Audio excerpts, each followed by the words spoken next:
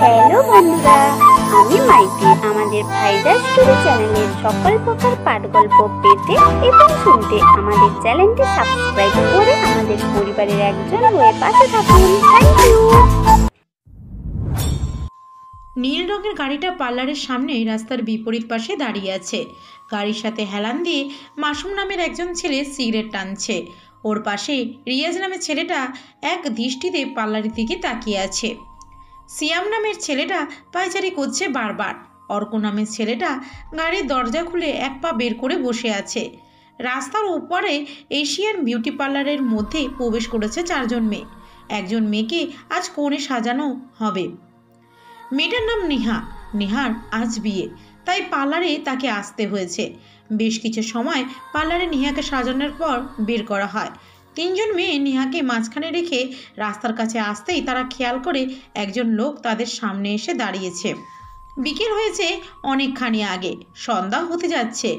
রাতের নিস্তব্ধতার মিছিলকে হাঁটিয়ে বাইকের হর্ন না বাজিয়ে নেহাকে বিয়ের আহানে পরিবেশ প্রস্তুত।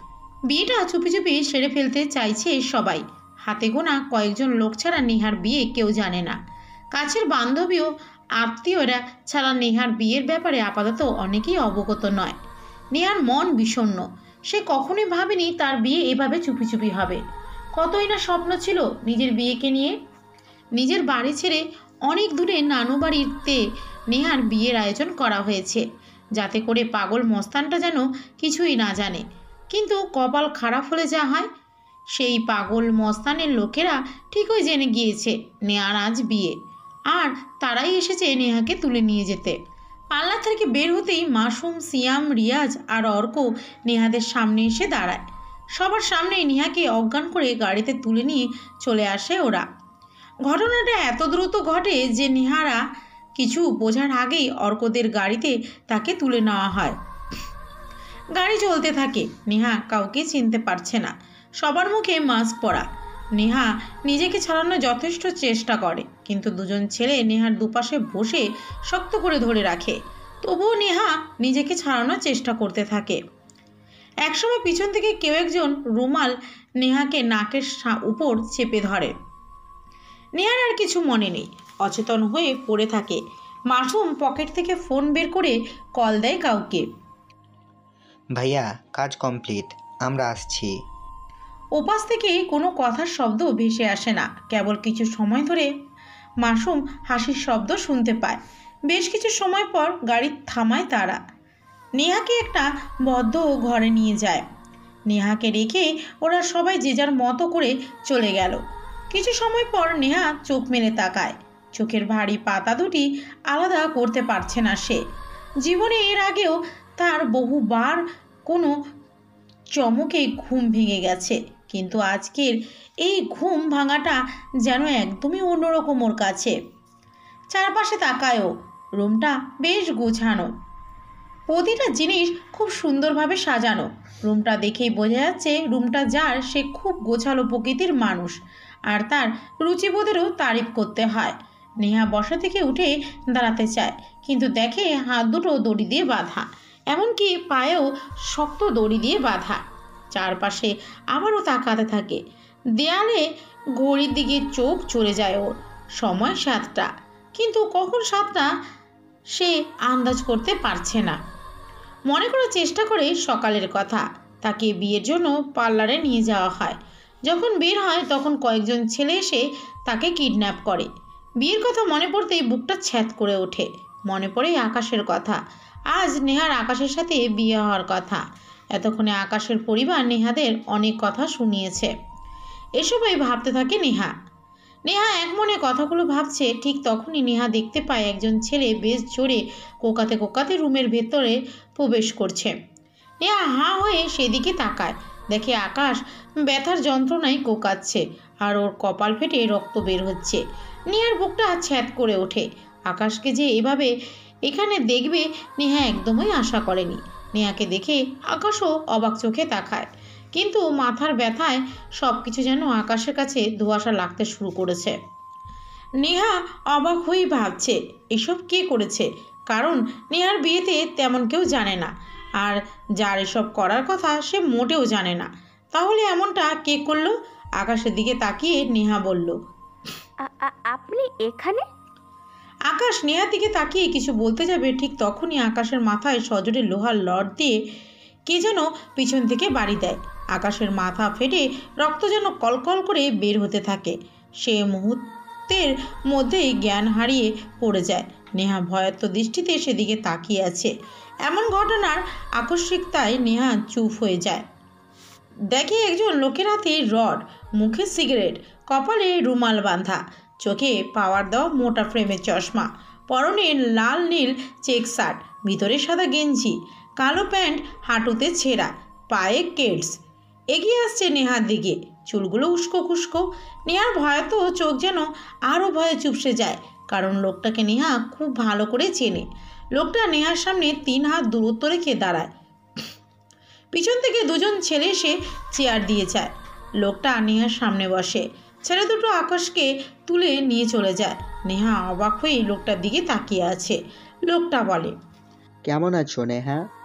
কথাটা বলে সিগারেট টানতে থাকে। এক টানেই অনেকটা কমিয়ে ফেলে সিগারেটের অংশ। তারপর ফেলে দিয়ে আবারও একটা সিগারেট জ্বালায়। নেহা সিগারেটের গন্ধে খক করে কাশি কেসে ওঠে। বিদঘুটে ভাবে কাশতে থাকে নেহা। নেহার কাশি কাশি মুখের দিকে লোকটা তাকিয়ে থাকে অনেকক্ষণ। নেহা কোনো রকম রকমে কাশি থামিয়ে লোকটার দিকে তাকিয়ে বলে। আ- আপনি? তার মানে এসব কিছু আপনার কাজ? আপনি আমাকে কিডন্যাপ করিয়েছেন? এত কিছুর পরও আপনার স্বাদ মেটেনি? এখন আমার জীবনটা একেবারে শেষ করতে উঠে পড়ে লেগেছেন। কেন করলেন এসব? কি ক্ষতি করেছিলাম আমি?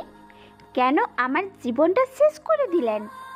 লোকটা উচ্চস্বরে হাসে। দ্বিতীয় সিগারেট, শেষ হতেই আরও একটি সিগারেট জ্বালায় লোকটা। নেহা খুব খুব করে কাঁচতে থাকে। লোকটা স্পষ্ট জানে নেহার খুব কষ্ট হচ্ছে আর সে কারণেই সে হেসে যাচ্ছে। কাশি থামানোর চেষ্টা করছে নেহা। লোকটা এক নাগাড়ে কথা বলার নেহার দিকে তাকিয়ে একের পর এক সিগারেট টেনে যাচ্ছে। নেহা দড়ি থেকে নিজেকে মুক্ত করার জন্য হাত পা ছুটানোর চেষ্টা করছে। লোকটা লোহার রড নেহার সামনে রেখে বলে হ্যাঁ আমি চিনতে পারছ আবার বলি তোমার নিলয় আমি। নেহা সামনে বসে থাকা নিলয়ের দিকে তাকায়। ডান হাতে একটা লাল ডিজাইনের রুমাল বাঁধা। নেহা জানে ওই রুমাল বাঁধা স্থানে কি আছে। সেদিন সবার সামনেই এই সাইকোটা ব্লেড দিয়ে ডান হাতে নেহার নাম লেখে। তা দেখে নেহা কয়েকদিন ভয়ে ঘর থেকে বেরোই হয়নি। এমনকি এই সাইকো নিলয় বুকেও নেহা লিখে রেখেছে ব্লেড দিয়ে। নেহা ভয়াত চোখে তাকিয়ে থাকে নিলয়ের দিকে। নিলয় হাসতে হাসতে বলে, সত্যি, আমি তোমার কোনো ক্ষতি করতে চাইনি, নেহা। তোমাকে আর তোমার পরিবারকে তো অনেক বুঝিয়েছিলাম, কিন্তু কোনো কাজ হলো না। দেখো, বাধ্য হয়ে আমাকে এই কাজ করতে হলো। তবে তুমি চিন্তা করো না, তোমার কোনো ক্ষতি হবে না। এখানে তুমি নিশ্চিন্তে থাকতে পারো। ক্ষতি করবেন না। আর কি বাকি আছে ক্ষতি করার, বলতে পারেন? হুম আপনার জন্য এতক্ষণে আমার বিয়েটা ভেঙে গেছে। আর বাবা মাকেও নিশ্চয়ই এতক্ষণে অনেক অপমানের শিকার হতে হয়েছে সমাজ আর আত্মীয়দের থেকে। নেহা নিলয়ের মুখের দিকে তাকিয়ে ঝাড়ি দিয়েই কথাগুলো বলল। নিলয় বসা থেকে উঠে দাঁড়ায়। তারপর কয়েকবার লোহার রড দিয়ে আস্তে করে নিজের পায়ে বাড়ি মারতে থাকে। তারপর জোরে দেওয়ালে ছুঁড়ে দিয়ে নেহার খুব কাছে মুখ নিয়ে এসে বলে, বিয়ে? তোমার সাথে তো আমারই বিয়ে হবে। তোমার সাথে আমার বিয়ে হওয়াটা কেবল আল্লাহ ছাড়া কেউ আটকাতে পারবে না। এই সাইকোটা যা বলে তাই করে কিন্তু। ওপরওয়ালা না চাইলে নিলয় তোমাকে কখনো বিয়ে করবে না। কিন্তু উপরওয়ালা তো চায়, আমরা একসাথে থাকি। দেখো দেখো, তোমাকে ছাড়া আমি থাকতে পারি না। আপনি খালি সাইকো নন, একটা মাস্তান। আপনার ভয়ে কেউ কোনো কথা বলবে না। আপনি এটারই ফায়দা নেন বারবার, তাই না? আমাকে ভয় পাওয়ার জন্য এই পজিশনটা আমি নিজেই বানিয়েছি। অনুরোধ করে টাকা চাইলে ধাক্কা খেতে হয় আর পিস্তল দেখিয়ে টাকা চাইলে সব কিছু দিয়ে দেয়। এটাই পাওয়ার পাওয়ার এমনি এমনি হয় না। পাওয়ার বানিয়ে নিতে হয়। আকাশ তোমাকে বিয়ে করবে। এটা তার স্বপ্ন। আর আমি তোমাকে তুলে এনে বিয়ে করব। এটা আমার পাগলামি আমার পাওয়ার। আপনি আমার থেকে দূরে থাকুন। আপনাকে আমার সহ্যই হয় না। আপনি একটা কিলার আপনি একটা সাইকো আপনি একটা মাস্তানো। নিলয় জোরে জোরে হাসতে থাকে। নেহা ঠিকই বলেছে নিলয় সাইকো মস্তান। খুন করা ওর নেশা। রক্তের তাজা গন্ধ তাকে আরও সচল রাখে। সারা রাত মদ আর সিগারেটের নেশাতে কেটে যাবে তার। আর যখনই ইচ্ছা করে, সে খুন করতে বেরিয়ে যায়। অবশ্য খুনগুলো সে তার নিজের জন্য করে না, সবগুলো করে সাকিব ভাইয়ের আদেশে। নিলয় নেহার দিকে হাসি মুখে তাকায়। বসা থেকে উঠে দাঁড়ায়। নেহা শব্দহীন কান্না করছে। নিলয় কয়েকবার পায়চারি করে। চেয়ারে লাথি মেরে হাঁটু ভেঙে বসে কান্না করতে করতে বলে, নেহা, দয়া করে তুমি কেঁদো না। খুব কষ্ট হয় আমার। তোমাকে কাঁদতে দেখলে। বিশ্বাস করো, আমি শুধু চেয়েছি তোমার বিয়েটা যেন ভেঙে যায়। আর তুমি, আমি ছাড়া অন্য কারও হয়ে না যাও। এখন তুমি তোমার মতো পড়াশোনা করো, পরে আমাদের বিয়ে হবে। আর আমি তোমাকে একদম বিরক্ত করব না। তুমি যা চাও, তাই আমি করব। শুধু আমাকে রেখে অন্য কাউকে বিয়ের কথা ভেবো না। তুমি শুধু আমার নেহা, তুমি শুধুই আমার। আমি তোমাকে খুব ভালোবাসি। খুব খুব। নেহা নিলয়ের কান্না দেখে চুপ হয়ে যায়। নেহা ভালো করেই জানে নিলয়ের মাথাতে সমস্যা আছে। কখন হাসে কখন কাঁদে নিলয়ও জানে না। সবসময় ড্রাগস নিলে এমন হয়ে যায় মানুষ। উন্মাদের মতো কথা বলতে থাকে। রেগে গেলে উপায় নেই কোনো। নেহা এটারই সুযোগ নিয়েছে বহুবার। তাই নেহা বলে আমাকে মোটেও ভালোবাসেন না। নেহা প্লিজ এটা বলো না আমি তোমাকে ছাড়া ভালো থাকতে পারি না। বিশ্বাস করি না আপনি আমাকে ভালোবাসেন। নিলয় বসা থেকে উঠে দাঁড়ায়। কোমর থেকে পিস্তল বের করে দেওয়ালে শাট শাট করে তিনটে গুলি করে। নেহা ভয়ে একদম চুপসে যায়। তবে নেহা এটা খুব ভালো করে জানে নিলয় তাকে মারবে না। তারপর পকেট থেকে ব্লেড বের করে বাম হাত সামনে এগিয়ে ধরে নেহাকে বলে তোমাকে কতটা ভালোবাসি দেখতে চাও? দেখো। নিলয় একের পর এক ব্লেড দিয়ে হাতে দাগ কাটতে থাকে। লাল রক্ত যখন নিচে টপ টপ করে পড়ছে নিলয় উচ্চস্বরে হেসে যাচ্ছে। নেহা সেদিকে তাকাতে পারছে না। ঠিক তখনই ব্লেড কেড়ে নেয় কে যেন এসে। নিলয় পাশে ঘুরে তাকিয়ে দেখে মাসুম এসে দাঁড়িয়েছে। ভাইয়া শান্ত হও। এ নাও এটা তোমার জন্য। মাসুম জানে নিলয়ের বিয়ার খুব পছন্দ। যখন তার মাথা ঠিক থাকে না তখনই মাসুম বিয়ার নিয়ে নিলয়কে ঠান্ডা করে। নিলয় মুচকি এসে বিয়ারের বোতল হাতে নিয়ে ফ্লোরে ছুঁড়ে মেরে বলে। আমার সামনেই তো আমার বড় নেশা বসে আছে। তাকে রেখে কি করে এসব ছোটখাটো নেশা আমাকে টানবে? নেহার নেশায় এই নিলয় যে আটকে গেছে। তুই যা এখান থেকে। মাসুম কয়েক সেকেন্ড স্থির দৃষ্টিতে দুজনের দিকে তাকিয়ে রইল। তারপর সেখান থেকে চলে যায়।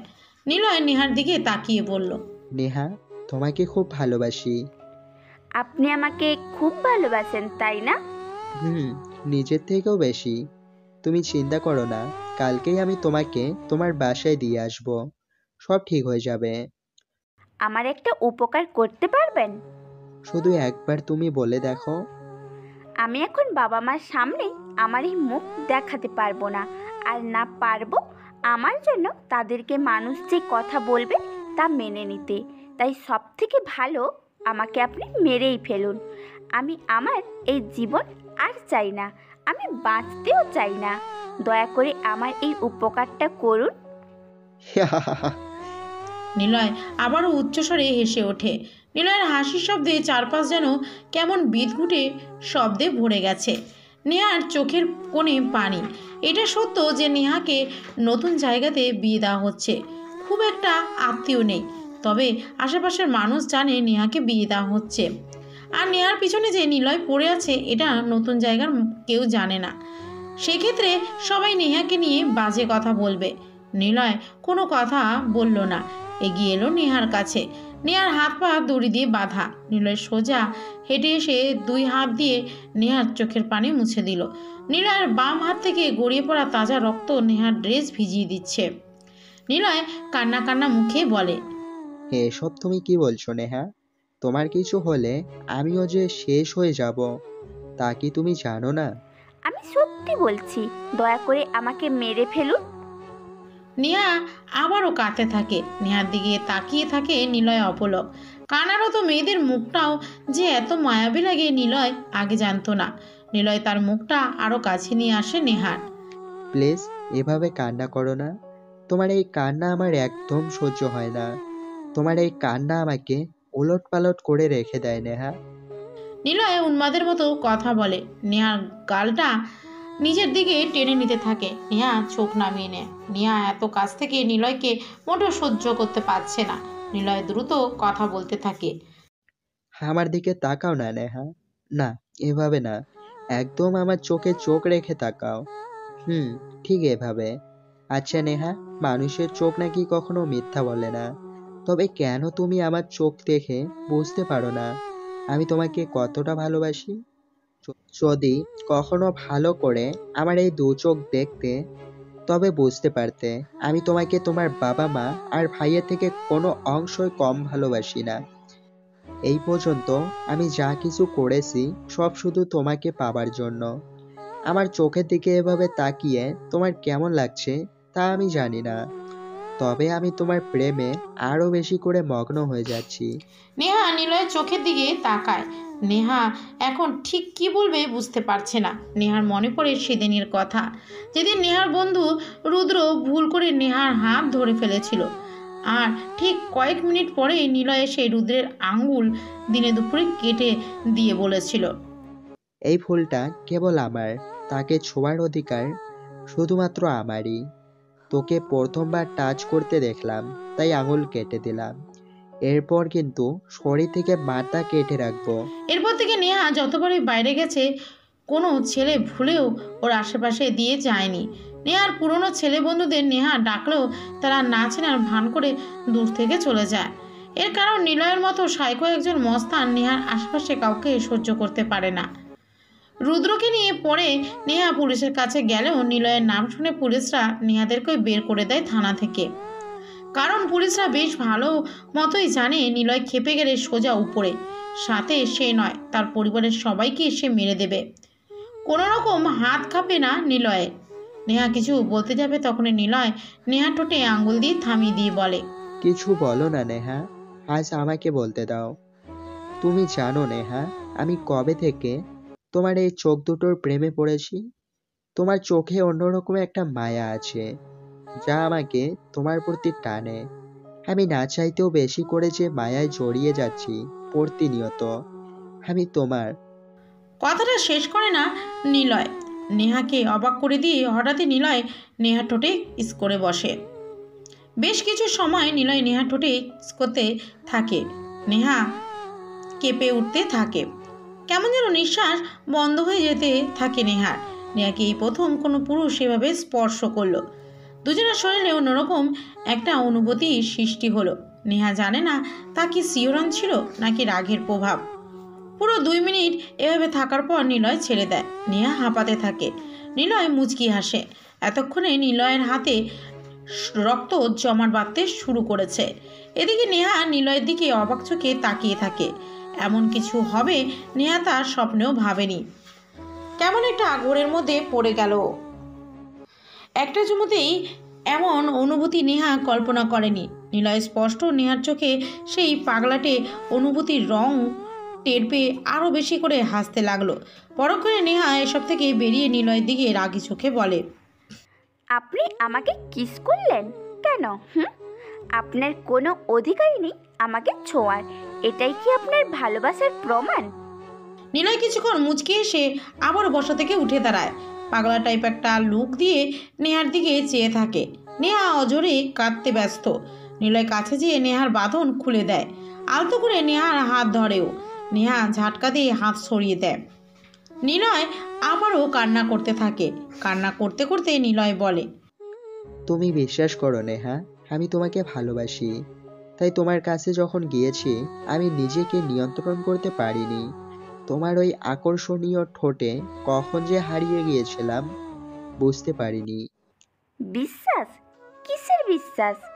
যে অন্যকে মারতে থামে না? কোনো মেয়ের গায়ে হাত দিতেও ছাড়ে না? কোনো অধিকার ছাড়াই যে এমন কিছু করতে পারে, তাকে কি করে বিশ্বাস করব, বলুন? আপনি তো আমার সাথে জোর করে অনেক কিছুই করতে পারেন। চোখের পানিগুলো মুছে দিতে নিলয় নেহার গালে হাত দিতেই নেহা এক টানে হাত সরিয়ে দেয়। তারপর নিজেকে আর নিয়ন্ত্রণ না করতে পেরে নিলয়ের গালে অনেকগুলো চর বসিয়ে দিল।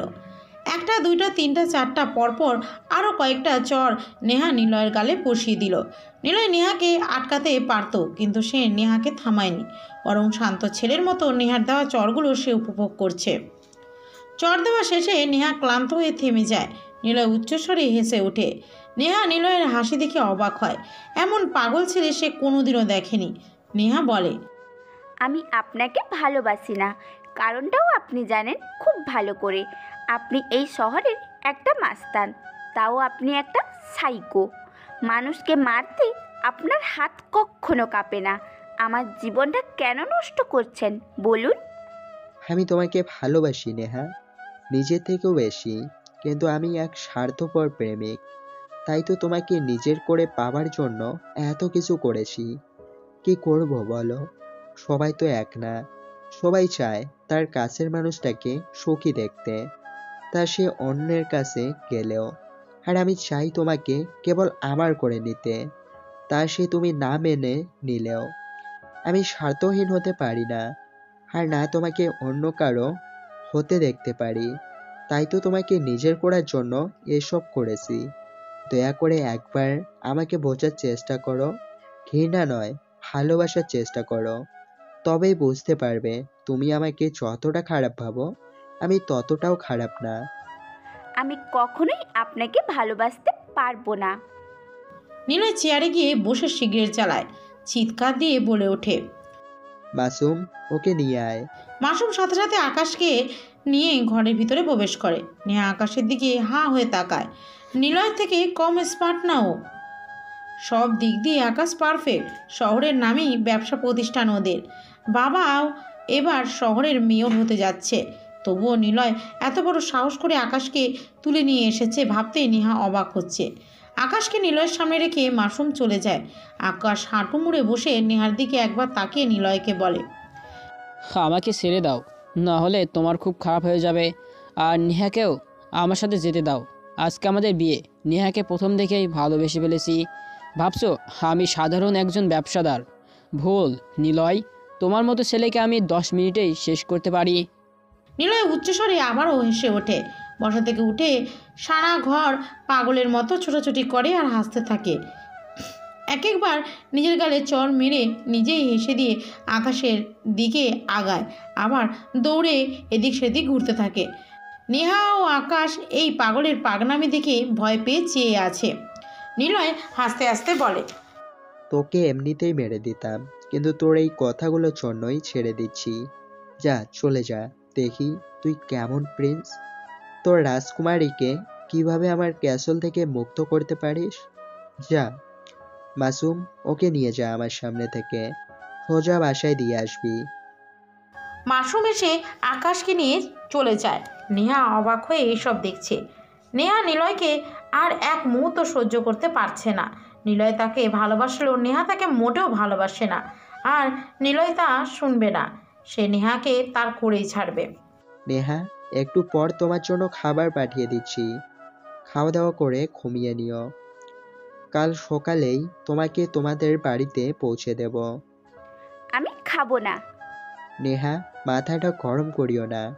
আমি কিন্তু তোমার মা বাবাকেও তুলে এনে মেরে ফেলতে পারি। আশা করি সেটা তুমি চাও না। নিলয় নেহার সব বাঁধন মুক্ত করে দিয়ে চলে গেল।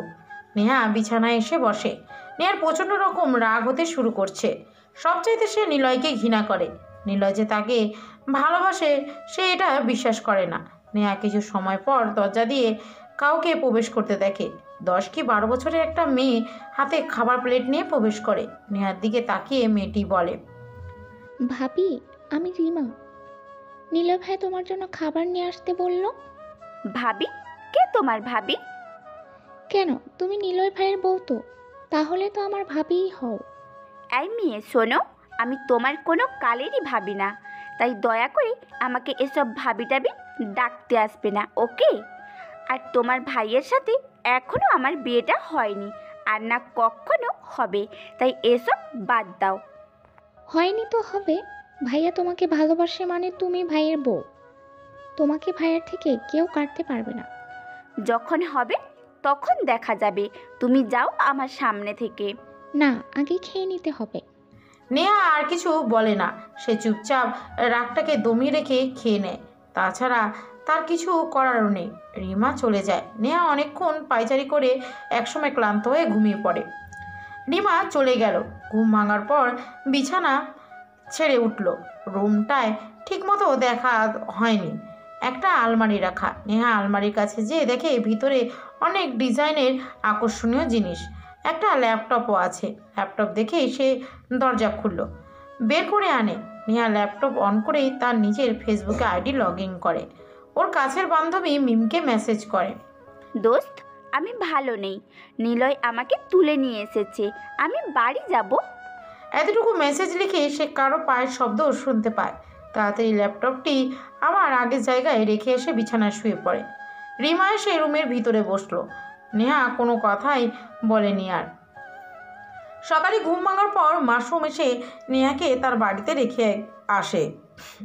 নেহাকে দেখে তার মা জড়িয়ে ধরলো। নেহাও তার মাকে জড়িয়ে ধরে কান্না করতে থাকে। নেহার মা বলে তুই ঠিক আছিস তো মা? তোর কোনো ক্ষতি হয়নি তো? আমি ঠিক আছি মা। সে শুধু আমার বিয়েটা ভাঙার জন্য এসব করেছে। আমার ক্ষতি সে করেনি। যাক বাঁচলাম। এদিকে আকাশও নিখোঁজ। কে জানে সে কোথায় আছে? আকাশও এখন বাড়িতে? নিলয় আমাকে আর আকাশকে একসাথে তুলে নিয়ে গিয়েছিল। কি বলিস এসব? আচ্ছা বাদ দে। তুই ঠিক আছিস এটাই তো বড় ব্যাপার। যা ফ্রেশ হয়ে নে খাবার দিচ্ছি। নিলয় বাড়ি থেকে বের হয়। সাথে সাথেই কয়েক গাড়ি পুলিশ নিলয়ের সামনে এসে দাঁড়ায়। নিলয়ের পিছনে অর্ক মাসুম রিয়াজ আর শিয়াম এসে দাঁড়ায়। নিলয় একবার। ঘাড়ের ব্যায়াম করে নিয়ে সামনে দাঁড়িয়ে থাকা পুলিশ অফিসারদের দিকে তাকায়। অর্ক মাসুম শিয়াম রিয়াজ সবাই জানে নিলয় যখন সাইকো ভূত মাথায় চাপে তখনই সে এমন করে। পাগলামো শুরু করার আগে নিলয় একদম চুপ থাকে। তাই পাশ থেকে অর্ক বলে কি ব্যাপার স্যার আপনারা? দেখা অর্ক তোমাদের জন্য এমনি উপর থেকে খুব চাপ তার উপর মেয়েরা ছেলেকে তুলে এনে ভালো করনি। করেছ ঠিক আছে? যেভাবে পিটিয়েছ তাতে করে বেচারি বাঁচবে কিনা সন্দেহ? ওকে মেরে ফেলিনি এটাই তো বড় কিছু। তোমাদের সবাইকে থানাতে যেতে হবে? কেন? আহা ওরা নয় আমি যাব চলুন। নিলয় পুলিশের গাড়িতে করে থানার দিকে যায়। নিলয়ের লোকেরা সবাই খুব ভালো করে জানে যে নিলয় তিরিশ মিনিটের মধ্যেই চলে আসবে। তবে তাদেরও কাজ আছে খুব। নেয়া ফ্রেশ হয়ে বিছানা গায়ে দিল। ঠিক তখনই মিম শিলা তনি হুড়মুড় করে ওর ঘরের মধ্যে প্রবেশ করে। সবাই নেহার ক্লোজ বান্ধবী। নেহাকে উঠিয়ে নিয়ে যাওয়ার সময় ওরাও সেখানে ছিল। তাই যখন নেহার মা ওদের সবাইকে নেহার ফিরে আসার খবরটা দেয় তখনই এরা চলে আসে। কি রে তোরা এখন? নেহার কথার কোনো জবাব ওরা দেয় না। নেহার খুব কাছের বান্ধবী মিমের দিকেও তাকায় নেহা। সবার চোখে মুখে এক প্রকার অবাকতা লেগে আছে। নেহা কিছু বলতে যাবে তখনই মিম বলে তুই নিলয় ভাইয়াকে ভালোবাসিস আগে আমাদের কেন বলিস নাই? মানে? কিসের মানে?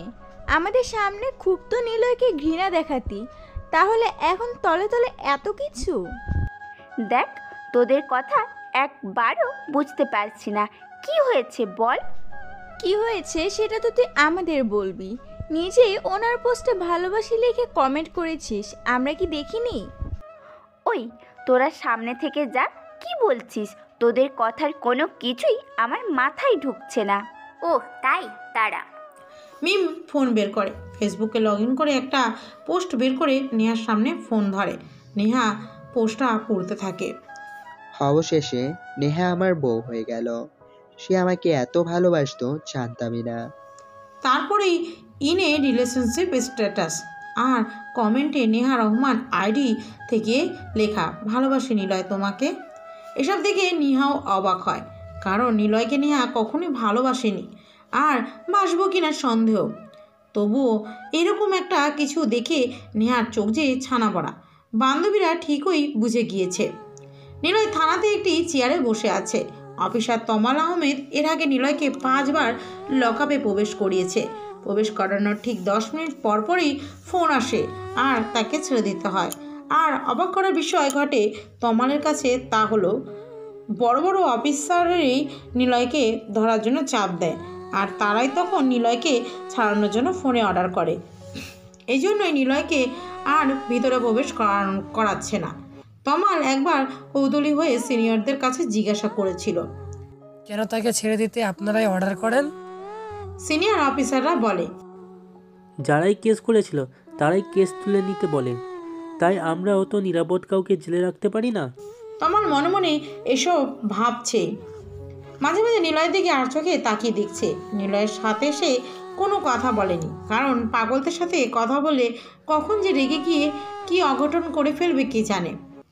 নিলয় বসে বসে একের পর এক সিগারেট টেনেই চলেছে। থানার মধ্যে সিগারেটের বৃষ্টি গন্ধ ও চারপাশে কেমন অসহ্য করে তুলেছে। তমাল নিলয়ের দিকে তাকিয়ে অনেক কিছুই ভাবছে। ঠিক তখনই কয়েকজন লোক থানার মধ্যে প্রবেশ করে। তমাল সেদিকে তাকিয়ে থতমতো খেয়ে ওঠে। দাঁড়িয়ে সালাম দেয়। কারণ যিনি প্রবেশ করেছে তিনি এই শহরের মেয়র মিস্টার মাহফুজ চৌধুরী আর তার পিছনে অনেক নেতা আর সিনিয়র পুলিশরাও। স্যার আপনি এখানে? সে কোথায়? ওই যে মাহফুজ চৌধুরী ঘুরে তাকায় পাশের দিকে। দেখে একটা ছেলে চোখ বন্ধ করে সিগারেট টেনে যাচ্ছে। গায়ে সাদা গেঞ্জি, গেঞ্জির সামনে ভূতের ছবি অঙ্কন করা।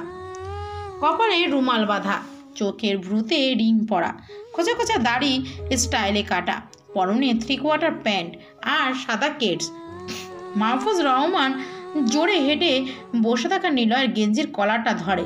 নিলয় চোখ বন্ধ থাকায় খানিকটা থতমতো খেয়ে যায়। চোখ খুলে তাকাতেই দেখে মাহফুজ তার গেঞ্জি ধরে টানছে আর বলছে শালা কুত্তার বাচ্চাকে এখানেই মেরে রেখে দেবো। কি ভাবিস তুই নিজেকে? কি মনে করিস হ্যাঁ? তুই আমার ছেলেকে তুলে নিয়ে গেলি তাকে পিটালি ভাবছিস বেঁচে যাবি? ওকে তো আমি থানাতেই মেরে রেখে দেবো কুত্তার বাচ্চা। নিলয়ের গাল থেকে সিগারেট অনেকটা সময় হলো পড়ে গিয়েছে। নিলয় মাহফুজ সাহেবের হাত ধরে আস্তে করে গেঞ্জিটা ছাড়িয়ে নেয়। তারপর এক হাত পিছিয়ে যে থ্রি কোয়ার্টারে প্যান্ট থেকে সিগারেট বের করে লাইটার দিয়ে জ্বালায়। সিগারেটে এক টান দিয়ে ঘাটটা বাঁকা করে ফুটিয়ে নেয়। মাসফুজ সাহেবের দিকে তাকিয়ে মুচকি এসে বলে আমি যখন গেম শুরু করি তখন সবাই তাকিয়ে দেখে। খুব সহজ করে বলছি শুধু আপনার ছেলে না এখানে সবাইকেই আমি মেরে ফেলব। সবার মধ্যে আপনিও আছেন। শালামা তোকে আমি এখানেই মারবো। তোর সাহস আমাকে হুমকি দেওয়া কুত্তার বাচ্চা? কাউকে গালি দিলে গালি শুনতে হয়। কাউকে সম্মান দিলে সম্মান পাওয়া যায়। আর কাউকে কুত্তা বললে নিজের গায়ে এসে কুকুরটা যে হিসু করে দেয়, সেটা নিশ্চয় জানা আছে।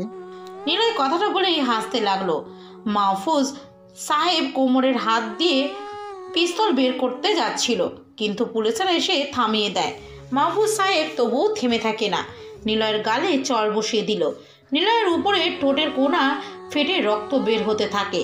সবাই কম বেশি মাহফুজ সাহেবকে বাধা দেয়। কিন্তু নিলয় মুচকি হাসতে থাকে। মাহফুজ বলে দেখি তোকে কে ছাড়ায় এবার। তোর উপরে কে আছে দেখে নেব। তারপর তুই যখন একা হবি না তোকে আমি সেখানেই মেরে রাস্তার পাশে রেখে দেবো শালা। বিশ পঁচিশ জন লোক সঙ্গে করে কাউকে একা পেয়ে মারাটা মাস্তানি বোঝায় না। বিশ পঁচিশ জনের সামনে একজনকে মেরে তাদের সালাম পাওয়াটাই হলো মাস্তানি চুপ শালা তোর অনেক ক্ষমতা না? দেখি কার দয়াতে তুই এবার বেঁচে ফিরিস? দেখি কে আসে। নিলয় কারও আন্ডারে চলে না। নিলয়কে আটকেও রাখা যায় না। কেউ আমাকে ছাড়তে আসবে না বরং আপনি নিজে আমাকে ছাড়িয়ে নিয়ে যাবেন। তোকে তো আমি কথাটি শেষ করতে পারেনি মাহফুজ সাহেব। ওনার কোটের বুক পকেটে থাকা ফোনটা বেজে উঠল। তিনি রিসিভ করেন। ওপাশ থেকে বলে স্যার আপনার ছেলে আকাশ হসপিটালে নেই। নেই মানে কি বলো? কয়েকজন ছেলে এসে তাকে তুলে নিয়ে গেছে। কি? হো হো হো হো। নিলয় হাসতে থাকে। মাহফুজ সাহেব নিলয়ের দিকে তাকায়। উনি ঠিক ঠিকই বুঝে গিয়েছে এটা কে করেছে। নিলয় চেয়ার ছেড়ে উঠে দাঁড়ায়। বড় রকমের একটা হাই তুলে মাহফুজ সাহেবের দিকে এগিয়ে এসে বলে নিলয় কিছু পারুক আর না পারুক মাস্তানিটা কিন্তু সে বেশ ভালো করে পারে। আমার সাথে ঠান্ডা মাথায় খেলতে আসবেন। রাফিয়ান জগতে যত বেশি ঠান্ডা হয়ে চলবেন ততই মজা। বুঝছেন স্যার? আর একটা কথা ঝামেলা আমার পছন্দ না। কিন্তু কি করব? আপনাদের জন্যই ঝামেলা আমাকে বেশি পছন্দ করে। আকাশ আমার কাছে আর এটাই হলো মাইন্ড গেম আমার সাথে খেলতে হলে একশো রানের টার্গেট নয় বরং আমাকে উইকেট দিয়ে হারাতে হবে। তোকে তো আমি দেখে নিলয় হেসে মাহবুব সাহেবের হাতে থাকা ফোনটা নিজের কাছে কিনে নিল। ওনার ফোন ক্যামেরা অন করে নিলয়ের একটা সেলফি তুলে দিয়ে ফোনটা ওনার পকেটে রেখে দেয়।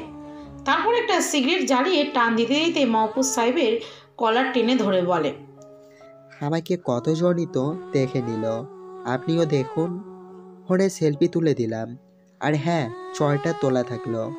ও, আর একটা কথা। এবারের এই রাফিয়ান গেমটা একদমই অন্যরকম। বুদ্ধি পাড়িয়ে আসুন। আমি না ফিরলে আপনার ছেলে আকাশও ফিরবে না। আসি বস। মাহবুব সাহেবের কোর্টের কলার নেড়ে দিয়ে নিলয় থানা থেকে বের হতে থাকে। তমাল মাহফুজ সাহেবকে চিৎকার করে বলতে লাগল স্যার ও তো চলে যাচ্ছে। আমি কি তাকে আটকাবো? মাহবুব সাহেব কোনো কথা বলে না। নিলয়ের বসার চেয়ারটা হাত দিয়ে জোরে আছাড় মারে। তারপর থানা থেকে বের হয়। কিছুক্ষণ পর আকাশকেও আগের জায়গাতে রেখে আসে মাসুম। অর্ক, সিয়াম আর রিয়াজ। নেহা বসে আছে বিছানায়। সবাই অনেকগুলো প্রশ্ন করে ফেলেছে নেহাকে। কিন্তু নেহা কিছু বলছে না দেখে মিম বলে, এতদিন যা শুনেছি তাই সত্যি হলো। কি শুনেছিস? তোর আর নিলয় ভাইয়ের সম্পর্ক চলছিল। আর এখন তো বিয়ে করে প্রমাণই করে দিলি। ঘটনা সত্যি। তুই যে ভাব দেখাতি, মনে হতো নিলয় ভাইরে তুই সহ্যই করতে পারিস না। আর এখন তো ভালোই লাগল, তবে বিয়ের দাওয়াতটা দিলেই পারতি। নেহা চুপ হয়ে যায়। কেন যেন মনে হচ্ছে তার সব কিছু ঘুরিয়ে যাচ্ছে। সে সবাইকে কোনো রকমে বুঝিয়ে বাড়ি পাঠিয়ে দেয়। এদিকে নিলয় ফিরে আসতে সবাই অনেক খুশি। নিলয় সোজা বাড়িতে এসে মাসুমকে ডাকে। তোকে যে নেহার মতো করেই একটা ফেক আইডি খুলে কমেন্ট করতে বলেছিলাম সেটা করেছিলি? হুম ভাইয়া করেছি।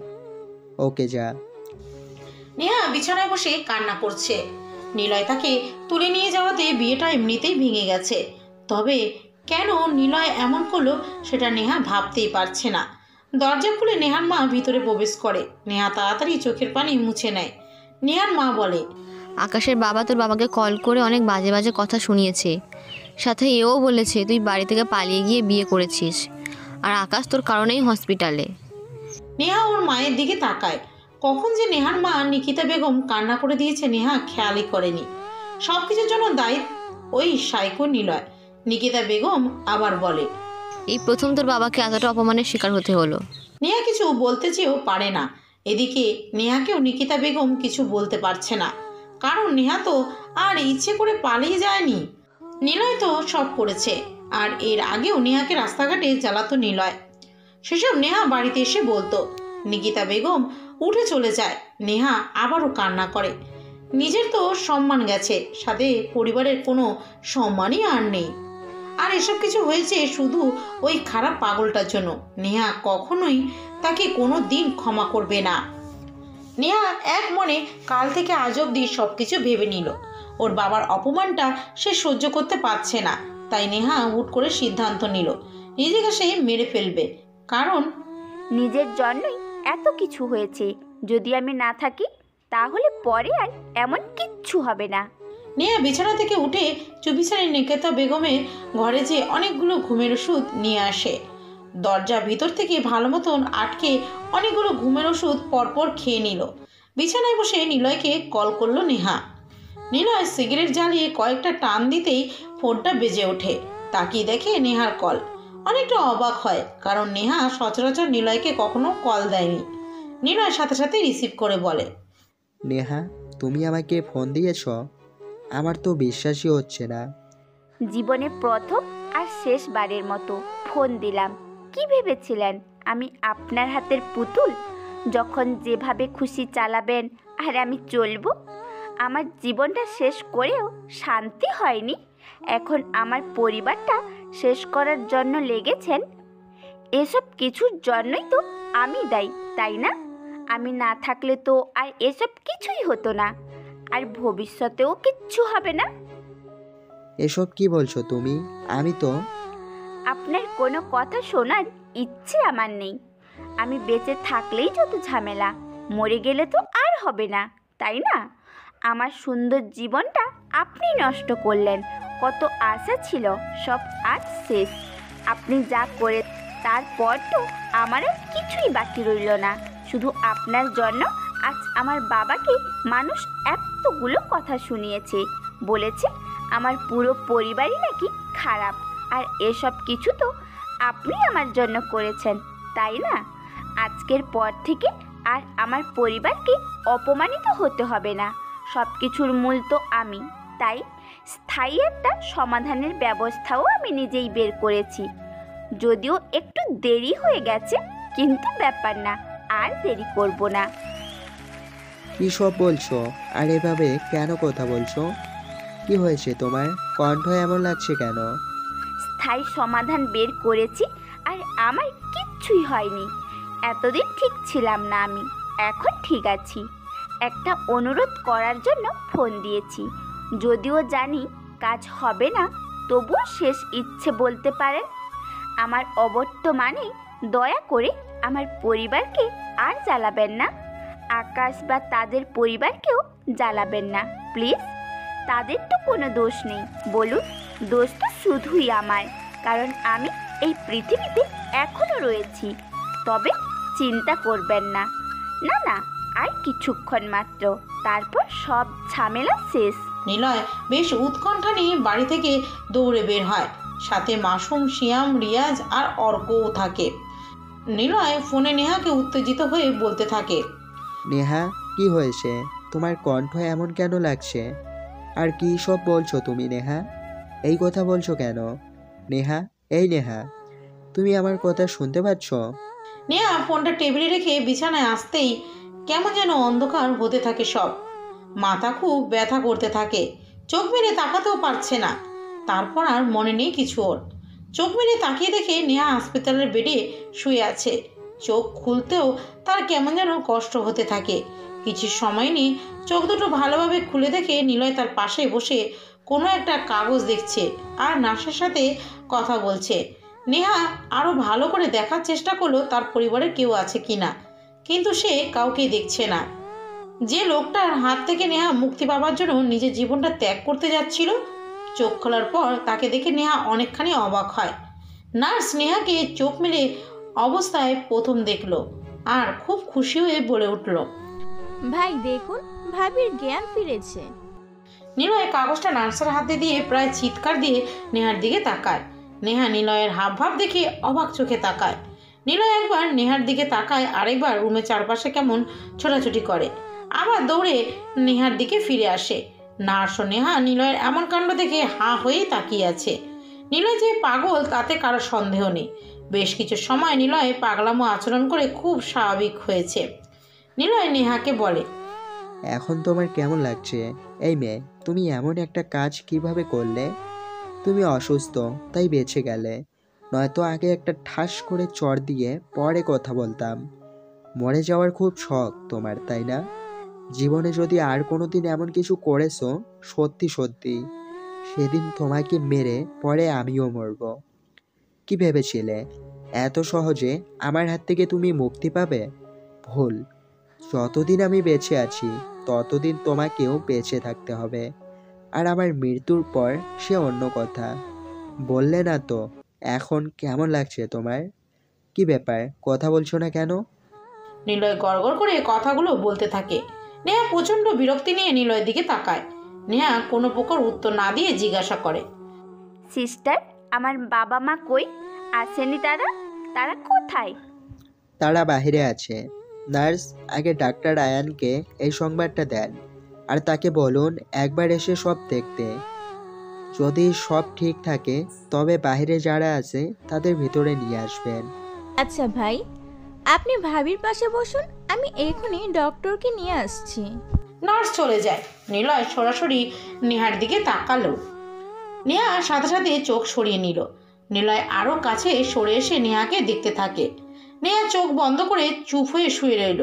একটু পর ডাক্তার এসে দেখে শুনে বলল এখন কেমন লাগছে? জি ভালো। বিয়ের একদিন না যেতেই নিলয়ের ওপর কি বিষয়ে আপনার এত রাগ? হলো যে রাগের বসে নিজেকেই শেষ করতে যাচ্ছিলেন। আপনি জানেন এই একদিন আপনার স্বামী আপনার কাছ থেকে এক মিনিটের জন্যও সরেনি। পুরোটা রাত জুড়ে আপনার পাশে পায়চারি করছে। কতবার যে আপনাকে ডেকে এনে বলেছে দেখুন না ডক্টর। ও চোখ খুলবে কখন? ভালো আছে কিনা এত ভালোবাসে আপনার স্বামী আপনাকে? আমার স্বামী? জি মিস্টার নিলয় যে আপনাকে কতটা ভালোবাসে তা ওনাকেও দেখে বুঝেছি। আচ্ছা পরে এসব কথা বলা যাবে। এখন রেস্ট নিন। নিলয় সাহেব ভাবে সুস্থ আছে চিন্তার কোনো কারণ নেই। এবার আপনি খাবার খেতে পারেন। একদিনে তো সিগারেটও মুখে দিতে দেখিনি আপনাকে। পারেনও বটে। এই বয়সে সাইকোদের মতো ভালোবাসেন। মনে হয় যেন কমবাসী আরে কি যে বলেন মিসেস নেহা আপনি রেস্ট করুন। ডক্টর আমার বাবা মা? নার্স ওনাদের বলো এখন ভেতরে আসতে পারে। আর নিলয় সাহেব এবার আপনিও একটু চিন্তামুক্ত হন। এখন ভয়ের আর কিছু নেই আর চাইলে কাল বাসায় নিয়ে যেতে পারেন। নিলয় চুপ হয়ে বসে থাকে নেহার দিকে তাকিয়ে। নেহা একবার আর চোখে নিলয়ের দিকে তাকিয়ে চোখ সরিয়ে নেয়। ডক্টর চলে যাবে তখনই নিলয় বলে। Sorry doctor. তখন আপনার সাথে ওইভাবে কথা বলার জন্য। আসলে আমার মাথা ঠিক ছিল না তাই। আরে এসবের দরকার নেই আমি বুঝতে পারছি। তখন আপনার মনের ওপর দিয়ে কী যাচ্ছিল? তবে ওনার দিকে একটু খেয়াল রাখবেন উনি মনে হয় কোনো বিষয়ে একটু বেশি হতাশায় ভুগছে। জি ডক্টর। ধন্যবাদ। নিলয় আর কিছু না বলে ডক্টরের সাথে বের হয়ে যায়। নেহার মা বাবা বান্ধবী নানা নানু অনেক আত্মীয় কেবিনে ঢোকে। নিলয় বোর- বের হয়ে আসতেই ফোন বেজে ওঠে তার। স্ক্রিনে তাকিয়ে দেখে সাকিব ভাইয়ের ফোন। নিলয় রিসিভ করেই বলে হুম বলো ভাই। আকাশের কথা মনে আছে? হুম কেন? শুনলাম ও তোমাকে মারার জন্য লোক আর অস্ত্র জোগাড় করেছে আর ওর বাপ আমাকে নির্বাচন করতে দিচ্ছে না। আচ্ছা ঠিক আছে। আমি না ঠিক নেই। মাহবুব সাহেবকে তুমি তুলে আনতে পারবে যদিও জানি পারবে না। এটা অনেক হার্ড সাকিব ভাই তুমি জানো না এই নিলয় কেবল বুলেট নিয়ে খেলা না। পাগল হলেও মাইন্ড গেম খেলাটা আমার নেশা। কিন্তু বুঝতে পারছি না তুমি কেন? তোমার বোনকেই আমার সাথে এভাবে জড়িয়ে দিলে। এখন ওর সাথে ভালোবাসার অভিনয় করতে যে সত্যিকারের ভালোবেসে ফেলেছি। তাহলে বিয়ে করে নাও আমি ব্যবস্থা করছি। কি করে? সে তো জানেই না তুমি। এবারের মাইন্ড গেমটা না হয় আমাকেই খেলতে দাও। তুমি মাইন্ড গেম খেলো মাস্তানিতে আর আমি রাজনীতিতে। এবার না হয় সম্পর্কের সাথেই করি। নিলয় ফোনটা কেটে দেয়। দীর্ঘ একটা নিঃশ্বাস ছাড়েও। ছোট থেকেই নিলয়কে সবাই ব্যবহার করছে, তাকে কেউ ভালোবাসেনি। মাথাটা রাগের কারণে বিগড়ে গিয়েছে ছোটবেলাতে। তখন থেকেই সে ছন্ন ছাড়া। তাই অন্যের ব্যবহার্য কার্য করতে নিলয় এগিয়ে। আর এখানে তো সম্পর্কটাও নিলয়কে ব্যবহার করতে নিয়ে আসা হয়েছে। সাকিব ভাই জানে, নিলয় একটা টপ লেভেলের মস্তান। তবুও কেন সে তার বোনকে এভাবে ওর হাতে তুলে দিয়েছে, সেটাই বোঝা মুশকিল হয়ে যাচ্ছে নিলয়ের। অবশ্য মনের অনুভূতিগুলো সে অনেক আগেই অরিন নামের কাউকে দিয়েছিল। তবুও নেহাকে দেখার পর কেমন যেন হয়ে যায় নিলয় তারপর মা বাবা সবাই নেহাকে দেখতে ভিতরে প্রবেশ করে। নেহা বেডে শুয়ে দরজার দিকে মুখ করে থাকে। নিকিতা বেগম দৌড়ে নেহাকে এসে জড়িয়ে ধরে কাঁদতে থাকে। নেহাও কেঁদে দেয়। সবাই নেহাকে দেখে কান্না করে। কাঁদতে কাঁদতে নিকিতা বেগম বলেন, কেন আমাদের এত বড় শাস্তি দিতে যাচ্ছিলি মা? আর কীভাবে তুই এমন একটা কাজ করার চিন্তা করেছিলি? একবার ভেবে দেখেছিস তোর কিছু হলে আমাদের কি হতো? আমাকে ক্ষমা করো মা। তখন আমি এছাড়া আর কোনো পথ খুঁজে পাচ্ছিলাম না। আর যদি কোনোদিন এমন কিছু করার কথা ভাবিস তবে খুব খারাপ হয়ে যাবে। আমি তোরে কোনোদিনও ক্ষমা করব না। সরি বাবা। আসলে আমার জন্য তোমাদের এত এত অপমানিত হতে দেখে আমি আর সহ্য করতে পারিনি। আরও অনেকটা সময় সবাই নেহাকে নানাভাবে আদর, ভালোবাসামূলক অনেক কথা বলল। একসময় নার্স এসে সবাইকে চলে যেতে বলে। কেবল নিকিতা বেগম থেকে যায়। নেহা তার মাকে বলে, মা, এই খারাপ লোকটা এখানে কীভাবে? আর ওনাকে কে বলেছে এসব? উনি কেন আমার পাশে বসেছিল? মা, ডাক্তার আমার কেন বলেছে? উনি আমার স্বামী? কি হলো মা? কথা বলছো না কেন? একটু সুস্থ হ তোকে সব বলছি। তারপর নিকিতা বেগম বেডে বসল। নেয়ার মাথায় হাত বোলাতে বোলাতে নিকিতা বেগম বলল কাল নিলয়ের নিলয় যখন বাসায় আসে তখন দরজা আমিই খুলেছিলাম। ওকে দেখে এতটাই রাগ হয়েছিল অনেক কথা শুনিয়েছিলাম। কিন্তু নিলয় বারবার তোর সাথে দেখা করতে চাচ্ছিল। আমি তাকে আটকাই কিন্তু সে বারবার বলছিল আমি শুধু একবার নেহাকে দেখতে চাই ও আসলে ঠিক নেই। আমরা কিছুতে যখন ওকে তোর সাথে দেখা করতে দিচ্ছিলাম না তখন সে পিস্তল বার করে তোর বাবার কপালে ধরে। তাই উপায় না দেখে আমরা সহ নিলয় তোর রুমের কাছে আসে। ভিতর থেকে তোর কোনো সারা শব্দ পাচ্ছিলাম না। তাই দরজাও বন্ধ। শেষমেশ নিলয় দরজা ভেঙে দেখে তুই অচেতন হয়ে বিছানায় পড়ে আছিস। নিকিতা বেগম একটু থামে। নেহা চুপচাপ ওর মায়ের কথাগুলো শুনতে থাকে। নিকিতা বেগম আবার বলতে থাকে। তোকে হাসপাতালে আনার পর ডাক্তার জানায়। পেশেন্টকে আনতে অনেকটা দেরি করে ফেলেছেন। হার্টবিট পালস যতদূর মনে হচ্ছে খুবই স্লো সরি এসব কিছু শুনে নিলয় কেমন যেন পাগলামো শুরু করে দেয়। ডক্টরের জামার কলার ধরে মাথায় পিস্তল লাগিয়ে গুলি করতে যায়। আমরা বাধা দিই নিলয় বারবার বলে। আমি আমার নেহাকে সুস্থ দেখতে চাই। কীভাবে সুস্থ করবেন তা আমি জানি না ডক্টর। আমি শুধু ওকে সুস্থ দেখতে চাই। আপনাদের কোথাও ভুল হচ্ছে ওই আমাকে ছেড়ে যেতে পারে না। আপনারা দয়া করে আরেকবার চেষ্টা করে দেখুন না। আমি জানি ওর কিছু হয়নি। তারপর তোর জ্ঞান ফিরলো বাকিরা তো জানিসই। তবে ছেলেটা এক মুহূর্তের জন্য তোর কাছ থেকে সরেনি। ছেলেটা এমনিতে সাইকো মাস্তান তবে তোকে খুব ভালোবাসে নেহা? নেহা তার মায়ের কথা শুনে অবাক চোখে তাকায়। যে ছেলের জন্য এত কিছু হলো মা সেই ছেলের পক্ষে কথা বলছে। নেহা তো মানতেই পারছে না। নেহা খানিকটা খ্যাপা দৃষ্টিতে তাকিয়ে বলল ভালোবাসা না ছাই? আমার আজকের এই অবস্থার জন্য সেই দায়ী। তোমরা এত সহজে সব ভুলে গেলে? হসপিটালেও বলেছে আমি তার বউ। কিছুই ভুলনি তবে একথা সত্যি ছেলেটা আসলেই তোকে খুব ভালোবাসে। এসব কথা আমার শুনতে ভালো লাগছে না মা। আমি একটু ঘুমাতে চাই। রাত দুইটা ছুঁই ছুঁই আষাঢ়ের বাড়ি ধারায় চারপাশ শূন্য জনশূন্য। সাকিব সাহেব হালকা ড্রিঙ্কস করে বড় গোডাউন টাইপে একটা হল ঘরে পায়চারি করছে। মাথার উপর হলদে একশো ওয়াটের বাল্ব জল করছে। ঠিক তখনই শুনতে পায় দরজায় জোরে খটখট করার শব্দ। বুকটা ধক করে ওঠে সাকিবের। অ্যাসিস্ট্যান্টকে ইশারায় দরজা খোলার জড়ো সড়ো তাগিদ দেয়। কামাল হোসেন দৌড়ে দরজা খোলে। সাকিব সাহেবও সেদিকে তাকিয়ে আছে। কালো রেইনকোট, মুখে চড়ানো অবস্থায় রাখা পাঁচজন ছেলে দাঁড়িয়ে, সাথে আরও একজন লোক দাঁড়িয়ে আছে। তার পুরো মুখে কালো কাপড় বাঁধা। ছেলেগুলো কোনো কথা না বলে ভিতরে প্রবেশ করে। তারপর একে একে গা থেকে সবাই কোটগুলো খুলে ফেলে। সাকিব সাহেব সবাইকে চেনে। সামনেটা নিলয়, পাশের ছেলেগুলো নিলয়ের লোক। নিলয় যে একটা চেয়ারে বসে, তারপর অর্ককে বলে ওকে, সামনে বসা, মুখ থেকে কাপড়টা খুলে দে। অর্ক লোকটার মুখ থেকে কাপড়টা খুলে দেয়। সাকিব সাহেব অবাক চোখেই তাকিয়ে আছে সেদিকে, কারণ সব থেকে ক্ষমতাবান মেয়র হলেন মাহফুজ সাহেব। নামে মেয়র হলেও উনি আরও অনেক রকম কাজ করে, এজন্য পুরো শহরটা তার নাম শুনেও থমকে যায়। আর সেই মাহফুজ সাহেবকে এরা তুলে এনেছে? ভাবতে সাকিব ভাই কেমন যেন চুপ হয়ে গেল। ভাই এই যে তোমার মাহফুজ সাহেব। তোরা আর সাকিব তুই এখানে? চাচা আপনাকে বলেছিলাম মেয়রের পদটি ছেড়ে দিতে। আপনার তো বড় ব্যবসা সেটা নিয়েই তো থাকতে পারেন। কেন শুধু শুধু রাজনীতি করেন? দেখ সাকিব সেদিন তোকে ভালোভাবে বুঝিয়েছিলাম কিন্তু তুই তবুও শুনলি না। তোকে পরের বার আর বোঝাবো না সোজা।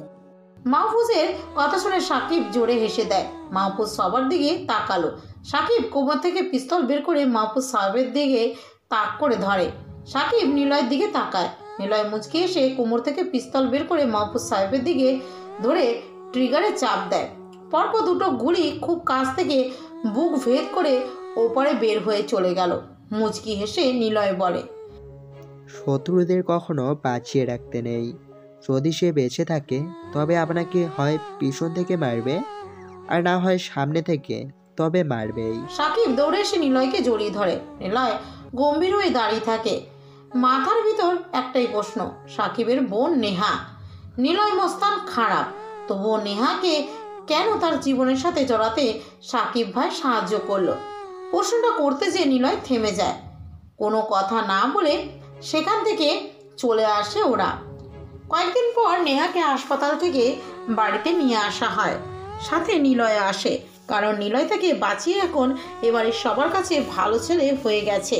কিন্তু নেহা নিলয়কে একদমই সহ্য করতে পারছে না। সারাক্ষণ চোখের সামনে নিলয়কে গুড়গুড় করতে দেখে নেহা আরও রেগে যাচ্ছে। নেহা তার মাকে বলে মা ওই লোক আমাদের বাসায় কি করে?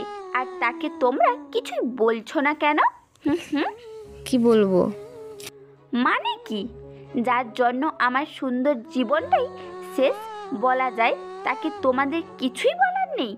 তোমরা কি বুঝতে পারো না আমি এই লোকটাকে সহ্যই করতে পারি না? আসতে বলো বাসাতেই আছে। আর আজ তোর এই অবস্থার জন্য ওই দায় মানলাম কিন্তু আজ ওর জন্যই তুই বেঁচে আছিস এটাও জেনে রাখিস। আর একটা কথা এখন একমাত্র ওই পারে সব কিছু ঠিক করে দিতে।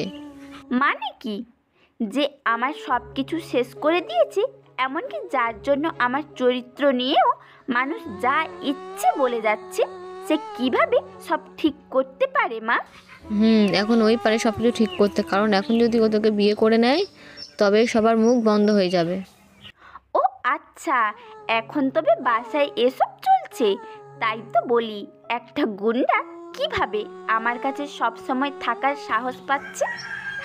কাল ওর মা আসবে আর বিয়ের ব্যাপারে সব কথা স্থির করবে। দেখ ওই ছেলে হিসাবে খারাপপনা আর যাই করেছে তোকে খুব ভালোবাসে বলেই করেছে। এ যুগে এমন ভালোবাসার জন্য পাগল ছেলে কোথাও পাবি না। নেহা কিছু বলতে চেয়েও পারে না, যাকে নেহা একদমই সহ্য করতে পারে না, একটা মস্তান সে। কারও প্রাণের মায়া সে করে না, আর তাকেই নেহার বিয়ে করতে হবে। নেহার গায়ে কেমন যেন কাটা দিতে থাকে। যে ছেলেটা নেহার শান্তিগুলো কেড়ে নিল, তাকে বর হিসেবে মেনে নিতে সে কখনোই পারবে না। সকাল হয়েছে, অনেকটা সময় হলো। সারা রাত নেহা ঘুমায়নি। আজকে নিলয়ের মা আসবে নেহাকে দেখতে। নেহা যখন নিলয়ের বাড়িতে গিয়েছিল কিডন্যাপ হয়ে, তখন সে কাউকেই দেখেনি বাড়িতে। কেবল নিলয়ের লোকেরা ছাড়া। তাই নেহাকে ঘটা করে দেখতে আসছেন তার মা। কাল রাত থেকে নেহা কিছু খায়নি। সকাল হয়েছে, অনেকটা সময় হলো। তবুও নেহা রুমের দরজা খুলেনি একবারও। নিকিতা বেগম বেশ কয়েকবার ডেকে গিয়েছে খাবারের জন্য। তবুও নেহা দরজা খোলেনি এবং কোনো কথাও বলেনি। বিকালে নিলয় আর তার মা নেহাদের বাড়িতে আসলো। আর এসেই জানতে পারে নেহা কাল রাত থেকে কিছু খায়নি। নিলয় এসে দরজা ধাক্কাতে লাগল। নিলয়ের মা সবার সাথে কথা বলতে ব্যস্ত। নেহা দরজা খোলো। না। প্লিজ দরজা খোলো বলছি। আপনি চলে যান। তুমি যদি দরজা না খোলো আমি কিন্তু দরজা ভেঙে ঘরে ঢুকবো। নেহা আর কোনো কথা বলল না। বিরক্তি নিয়ে দরজার কাছে যায়। সে বাধ্য হয়ে দরজা খুলে দিল। দরজা খুলে নেহা সোজা বিছানায় গিয়ে বসে। পিছনে নিলয় এসে পাশে চেয়ার টেনে বসল। নেহার দিকে তাকিয়ে বলল তুমি নাকি কাল রাত থেকে কিছুই খাওনি আর রুম থেকে বেরো হওনি? কে বলেছে এসব? আন্টি। তবে আমাকে জিজ্ঞেস করছেন কেন? আন্টিকে গিয়ে জিজ্ঞেস করুন। আমি আর কিছু জানতে চাই না। আন্টি খাবার পাঠাচ্ছে খেয়ে নাও। তারপর বাইরে আমার মা এসেছে। তার কাছে যাও একবার। বিয়ের দিন ঠিক হয়ে গেছে? হুম পরশু। এত দেরি কেন? আর বিয়েই বা কেন করছেন? এটা কেমন কথা? তোমাকে ভালোবাসি তাই বিয়ে করছি। ভালোবাসলেই কি বিয়ে করতে হবে? মানেটা কি নেহা? শুধু শুধু বিয়ে করার কি দরকার? যখন বিয়ে ছাড়াই সব পেতে পারেন? জোর করে মানে?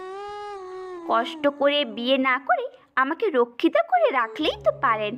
আর মস্তানদের বিয়ে করা হাস্যকর ব্যাপার না। বিছানার সঙ্গী তো বিলাসিতা তাই না? বিয়ে ফর্মালিটিজের কি দরকার এত? রক্ষিতা তোমার মনে হচ্ছে আমি তোমাকে রক্ষিতা করে রাখতে চাই?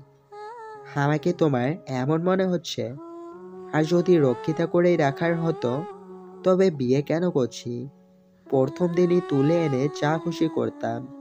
বিয়ে অবধি আসতাম না। হুম সেটাই তো। বিয়ে করার কি দরকার? আপনি আমার জীবন বাঁচিয়েছেন আমি তো আপনার দাস। তাই যেভাবে ইচ্ছে আমাকে ব্যবহার করতে পারেন। তার জন্য বিয়ের মোহর লাগানোর দরকার নেই তো।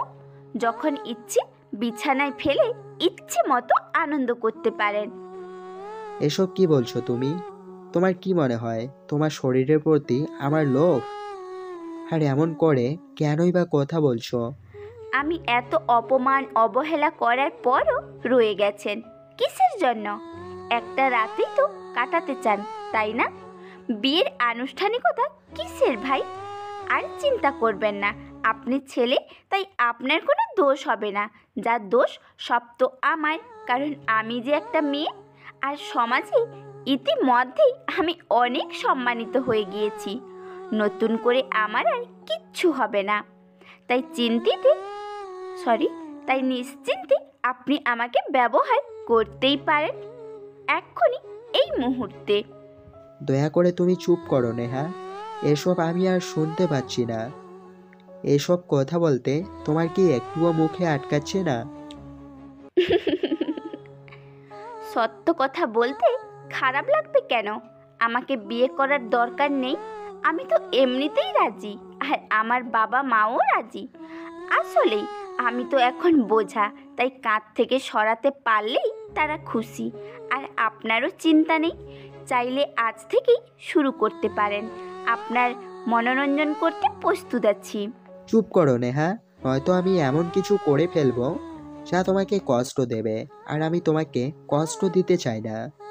আরে আপনি তো দেখি মেয়েদের মতো লজ্জা পাচ্ছেন।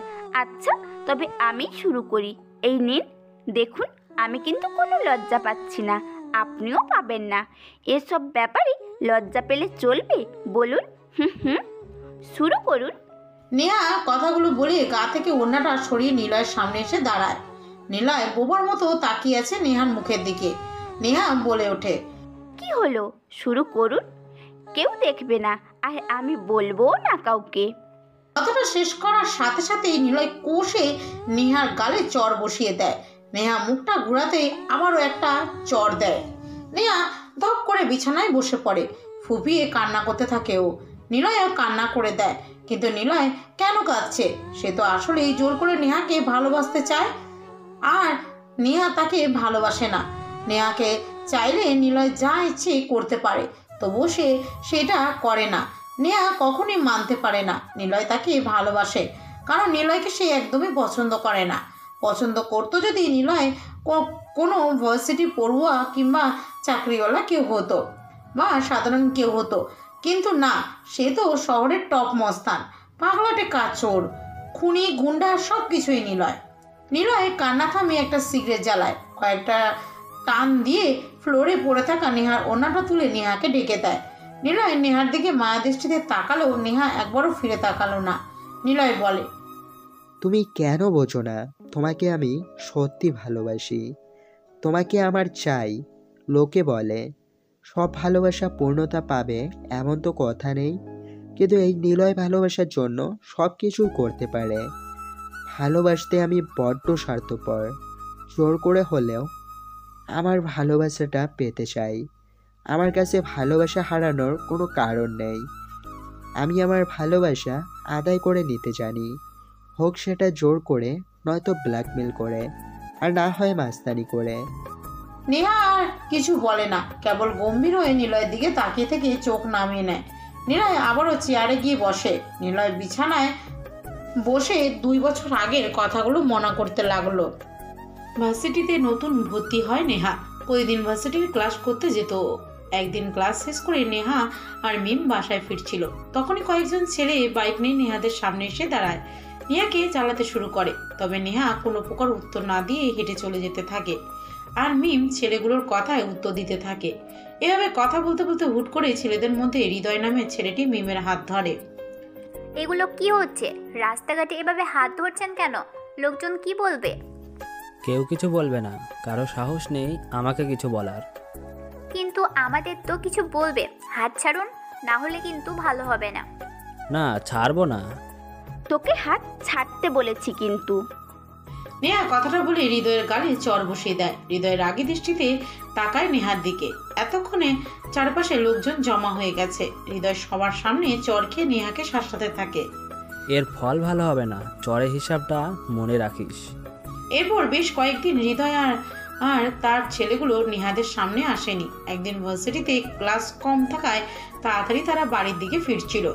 সেদিন একটু বৃষ্টি হচ্ছিল বলে রাস্তায় তেমন লোকজনও ছিল না। নেহা আর মিম হেঁটে যাচ্ছিল। ঠিক তখনই হৃদয় সহ আরও ছজন ছেলে ওদের সামনে এসে পথ আটকে দাঁড়ায়। এবার মিমকে ছেড়ে সরাসরি নেহাকে হৃদয় বলে। কি সুন্দরী, বলেছিলাম না, আবার দেখা হবে। আর তুমি যা দিয়েছিলে তা সুদে আসলে ফেরত দেব আজ। দেখুন ভাইয়া সেদিনের জন্য আমরা দুঃখিত। চুপ ওই সবগুলোকে তোল উঠিয়ে নিয়ে যাব।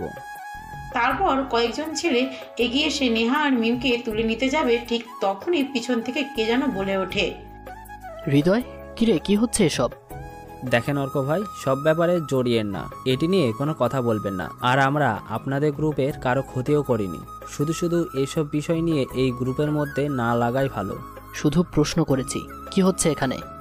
বললাম তো নিজেদের মধ্যে ঝামেলা না করাই ভালো। বুঝলাম। কিন্তু হচ্ছেটা কি? আর এই মেয়েদের নিয়ে এমন কেন করছিস? এই শালির জেদ বেশি।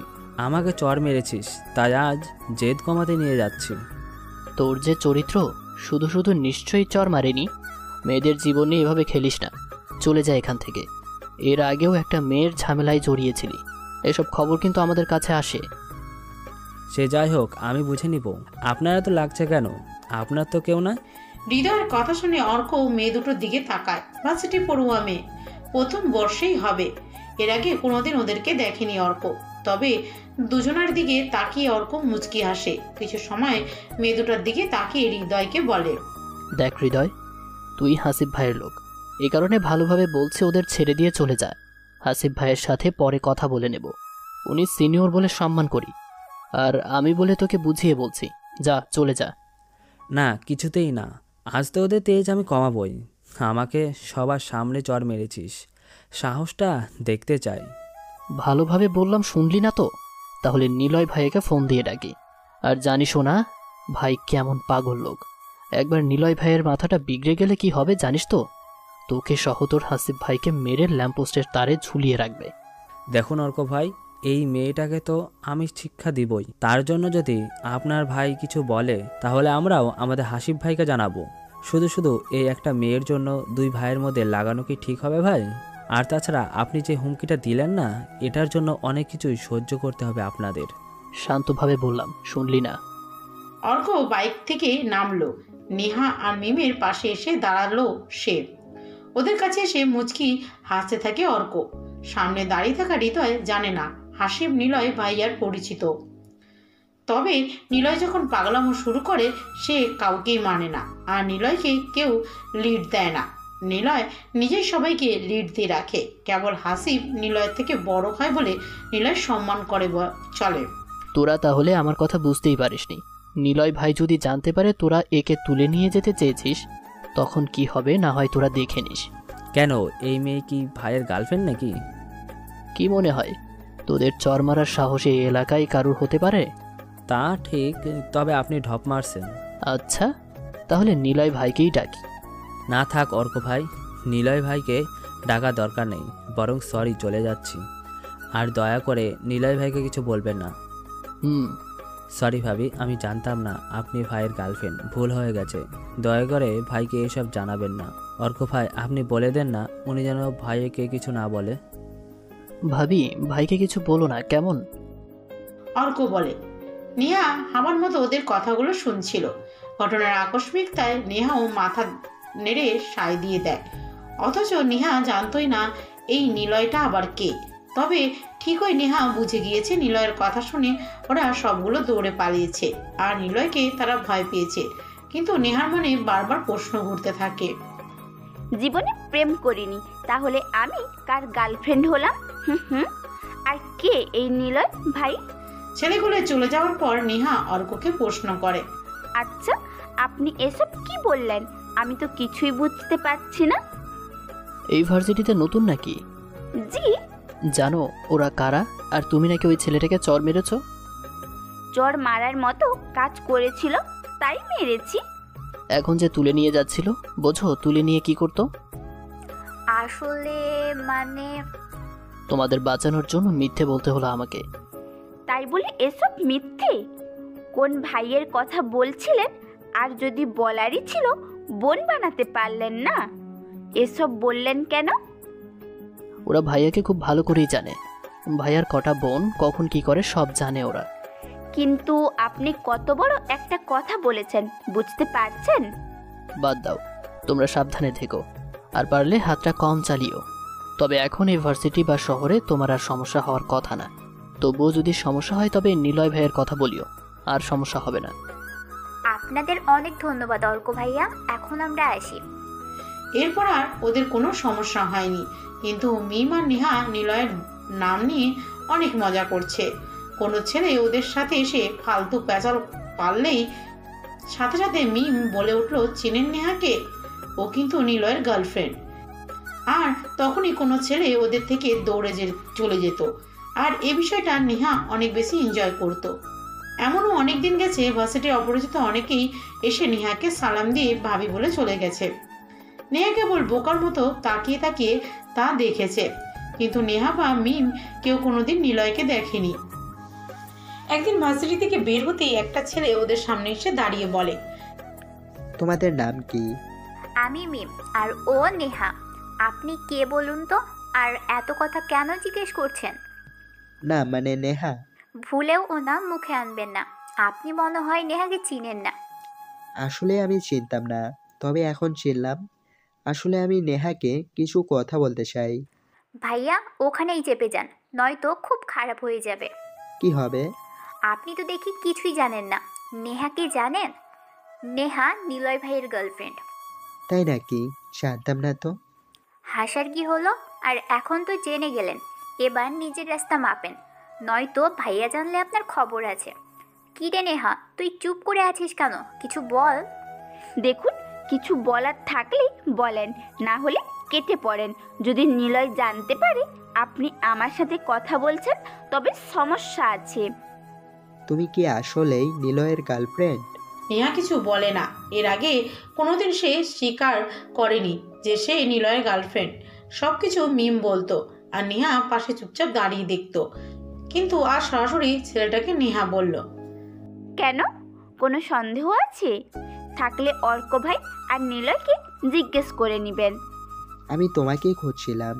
আসলে আমি গ্রাম থেকে এসেছি। আমার কিছু ঝামেলা হয়েছে তাই নিলয়কে খুঁজছিলাম। পরে একজন বলল তুমি ওর গার্লফ্রেন্ড তোমাকে বললে নাকি? দ্রুত কাজ হবে। আমাকে নিলয়ের সাথে দেখা করিয়ে দাও না। আমি পারব না। আপনি যে কাউকে নিলয়ের কথা বললেই আপনার দেখা করে ব্যবস্থা হয়ে যাবে। অন্য সবাই আর তুমি কি এক? তুমি তো ওর আপনজন। তোমার কথার মূল্যই অন্যরকম ওর কাছে। ছেলেটার সাথে অনেক কথা হলো নেহার। ছেলেটা কিছুতেই নেহাকে ছাড়ছে না। নিলয়ের সাথে সে দেখা করেই ছাড়বে। কিন্তু সমস্যা হলো ওরাই তো নিলয়কে কোনোদিন দেখেনি। চিনেও না নিলয় আসলে কে? তাই তারা ছেলেটাকে বোঝাতে পারছে না। হঠাৎ করে মিম বলে উঠল আচ্ছা ঠিক আছে। কাল এই সময় এখানে থাকবেন। আপনার ব্যবস্থা হয়ে যাবে। নেহা মিমের দিকে অবাক হয়ে তাকায় কারণ মিমও তো নিলয়কে চেনে না। তাহলে এখন কীভাবে কাল নিলয়কে দেখা করাবে লোকটার সাথে? লোকটা চলে যায়। নেহা আর মিম রিস্কাতে করে বাড়ির দিকে আসতে থাকে। রিস্কায় বসে নেহা মিমকে বলে তুই তো নিলয়কে চিনিস না? তাহলে কাল দেখা করাবি কি করে? চিন্তা করিস না। মনে আছে তুই অসুস্থতার কারণে কয়েকদিন ভার্সিটিতে আসিস নাই? তখন অর্কের সাথে কথা হয়েছিল। নাম্বারটা নিয়ে রেখেছিলাম তার। তুই পারিসও বটে। আচ্ছা বাসায় চল এখন একটু চিন্তামুক্ত হওয়া গেছে। পরের দিন ভার্সিটি থেকে বের হতে আবার ছেলেটার সাথে দেখা ওদের। সরাসরি নেহার কাছে এসে বলতে থাকে নিলয় কোথায়? নেহা শুকনো দৃষ্টিতে মিমের দিকে তাকাতেই আস্তে করে মিম বলে চিন্তা করিস না অর্ককে ফোন দিয়েছিলাম। ও সব ব্যবস্থা করে রেখেছে। কিন্তু কিছুক্ষণ যাওয়ার পর নিলয় দেখা পাচ্ছে না কেউ। তখনই অর্ককে মিম কল দেয়। অর্ক পাঁচ মিনিটেই ওদের সামনে এসে হাত দাঁড়ায়। আরে মিম তুমি আমাকে কেন আসতে বললে? ভাইয়া তো এখানেই আছে। কোথায় আপনার ভাইয়া? কেন এই যে দেখছ না? তোমাদের সামনেই তো দাঁড়িয়ে আছে। এতক্ষণ ধরে তো কথা বলছিলে দেখলাম। অর্ক কথাটা বলে সামনে দাঁড়িয়ে থাকা ছেলেটাকে দেখাল। নেহা আর মিম দুজনেই কি বলে উঠল? লোকটা আসলে নিলয়। সে কাল নিজেই এসে ওদের সাথে কথা বলেছে। আর নেহা নিজের স্বীকার করে নিয়েছিল নিলয় তার বয়ফ্রেন্ড ওদের মুখের দিকে তাকিয়ে নিলয় মুচকি হাসছিল। অর্কের পাশে থাকা মাসুম বলে কি ব্যাপার ভাইয়া? আপনি হাসছেন কেন? কিছুই তো বুঝলাম না। তোর বোঝার দরকার নেই। তোরা এখন যা আমি পরে সব বলব। আচ্ছা। আর ভাইয়া কোন লোক যেন আপনার সাথে দেখা করতে চাইছিল? তার সাথে একটু কথা বলে নিন মিম কাল রাতে ফোন করে বলেছিল। আচ্ছা দেখা করব। নিলয় একটা সিগারেট জ্বালায়। এতদিন লোকটাকে তারা খেয়াল করেনি ভালো করে। আজ প্রথম দেখছে। সাদা শার্ট ডিপ কালো প্যান্ট সাদে সাদা কনভার্স জুতো। চোখের ভ্রুতে আংটি লাগানো। চুলগুলো প্যান্টের মতোই ডিপ কালো তবে এলোমেলো। চেহারাতে যথেষ্ট ভদ্রতার ছাপ কিন্তু স্বভাবে সে মস্তান। ওদের দিকে তাকিয়ে নিলয় কিছু বলতে যাবে তখনই নেহা বলে ওঠে সরি দেখুন প্রথমে কিন্তু এই কাহিনী অর্ক ভাই শুরু করেছে আর পরে যখন কাজে লেগেছে তখন আমরা ব্যবহার করেছি আর কখনো এসব বলব না। সরি? অর্ক আমাকে সব বলেছিল কিন্তু সেদিনের পর থেকে তোমরা একই কাহিনীর ব্যবহার করছ। দেখে অনেকেই আমাকে এসে তোমার ব্যাপারে বলেছে। ভাবি নাকি অনেক সুন্দর। এমন ভাবি পাওয়া যাবে না ইত্যাদি ইত্যাদি। তাই আমি তোমাদের দেখতে এসেছিলাম। ভাগ্যিস এসেছিলাম। দেখুন আমরা খুবই দুঃখিত। আর হবে না এরকম। এরপর থেকেই নিলয় নামের সাইকো ছেলেটা প্রতিনিয়ত নেহাকে জ্বালাতে থাকে। পুরো শহরের সবাই তখন নেহাকে ভাবি রাখা শুরু করেছে। সব জায়গাতে নিলয়ের লোক। তাই নেহা বাসা থেকে বের হলেই কেউ না কেউ নেহাকে ভাবি বলে ডাক দেয়। নেহা কিছুই বলতে পারতো না, কারণ নেহা তখন জেনে গিয়েছিল নিলয়ের শহরের টপ মস্তান। খুন করা তার নেশা। ওর উপরে কেউ কোনো কথা বলে না। পিছনে ওকে মারার জন্য অনেকেই ঘুরলেও নিলয় কাউকে কেয়ার করে না। আর কেউ ওর সাথে সূত্রতাও করে না। কারণ নেহা জেনে গিয়েছে নিলয় তার কোনো শত্রুকে কখনো বাঁচিয়ে রাখে না। তাই নেহা কারও কাছে যাবে সে উপায়ও নেই। ব্যাপারগুলো এমন পর্যায়ে চলে গিয়েছিল, কোনো ছেলে যদি নেহার সাথে একটু কথা বলেছে, তখন নিলয় সে ছেলেটাকে বেধরকভাবে পিটিয়ে গেছে, যা নেহা সহ্য করতে না পারলেও কিছু করার ছিল না। অনেকবার নেহা নিলয়কে বুঝিয়েছে, নেহার পছন্দ না নিলয়কে, কিন্তু নিলয় তাকে ভালোবাসে আর তাকেই পেতে চায়। পরিস্থিতি এমন পর্যায়ে চলে গিয়েছিল যে নেহাকে বাসা থেকে বিয়ে দিতে চেয়েছে। কিন্তু নিলয় সে বিয়ে আটকে দিয়ে ছেলেপক্ষকে খুব বাজেভাবে মেরেছে। এরপর আর কোনো ছেলের পরিবার নেহাকে দেখতে বা বিয়ের কথা বলতে আসেনি। এরপরে মাহফুজ সাহেবের ছেলে আকাশ ভার্সিটিতে ভর্তি হয়। টুকটাক কথা হতো আকাশের সাথে নেহার, যা নিলয় জানলেও তখন কিছু বলতো না। ধীরে ধীরে আকাশও সব কিছু জানে নেহার ব্যাপারে, তাই নেহাকে বিয়ে করার জন্য প্রস্তুতি গ্রহণ করে। নেহাও রাজি হয়ে যায় নিলয়ের হাত থেকে বাঁচার জন্য। এ কারণে নিজ বাড়ি ছেড়ে আত্মীয়দের বাড়িতে নেহাকে বিয়ের জন্য নিয়ে যাওয়া হয়। যেন নিলয় বিয়ের কথা জানতে না পারে, কিন্তু নিলয় তো জেনে যায়। আর তারপরেই নেহা ও আকাশকে তুলে নিয়ে আসে। তারপর নিলয় চেয়ার টেনে বসে, একটা সিগারেট জ্বালায়। নিকেটনের গন্ধ নিলয়ের প্রিয়, সাথে লাল রঙা রক্তের গন্ধ। আচ্ছা তাজা রক্তের কি কোনো গন্ধ আছে? নিলয় অনেকবার এই প্রশ্নের উত্তর খুঁজছে কিন্তু পায়নি। মাহবুব সাহেবের মুখ থেকে যখন লাল তাজা রক্ত বের হয়ে ফ্লোরে পড়েছিল তখন নিলয় উবু হয়ে বসে রক্তের গন্ধ নিচ্ছিল। তখন কেউ একটু অবাক হয়নি কারণ প্রতিবারে নিলয় যাকে মারে তার রক্তের গন্ধ সেইভাবেই নেয়। কতবার যে অর্ক মাসুম প্রশ্ন করেছে। ভাইয়া কেন করো তুমি এমন? এটা কোনো উত্তর দেয়নি। কোনো দিন তাদের কেবল মুচকিয়ে সে রক্তের দিকে তাকিয়ে বলে। নেশারে? নিলয় নেহার দিকে তাকিয়ে আছে। নেহা এতক্ষণ পুরনো দিনে সেসব কথাগুলো ভাবছিল বসে বসে। নিলয় বলে নেহা আমি তোমাকে ভালোবেসেছি। তোমার শরীর নয়। যদি শরীরকে ভালোবাসতাম তবে অনেক দিন আগে নিজের ইচ্ছে পূরণ করে নিতে পারতাম। তার জন্য বিয়ের কোনো দরকার ছিল না। ঠিক আছে এ বিয়ে হবে না। নেহা নিলয়ের দিকে তাকায়। কেন যেন নিলয়ের প্রতি কোনো প্রকার টান নেহা অনুভব করে না। তবে এখন নিলয়ের মুখে নেহার প্রতি অভিমানের বিশাল সুর তা নেহা ঠিকই বুঝতে পেরেছে। তবুও নেহা জোরে হাসি দিয়ে বলল বাব্বা খুব ভালো তো। আপনি কি ভেবেছেন আমি আপনার চালাকি বুঝতে পারিনি? চালাকি? কিসের চালাকি? সবাই জানে আপনি আমাকে বাসা থেকে তুলে নিয়ে গিয়েছিলেন। একটা রাত কাটিয়েছি আমি তো বুঝতেই পারছেন সমাজে আমার সম্মানটা এখন কত বড় হয়ে গেছে। আবার বলছেন আমাকে বিয়েই করবেন না।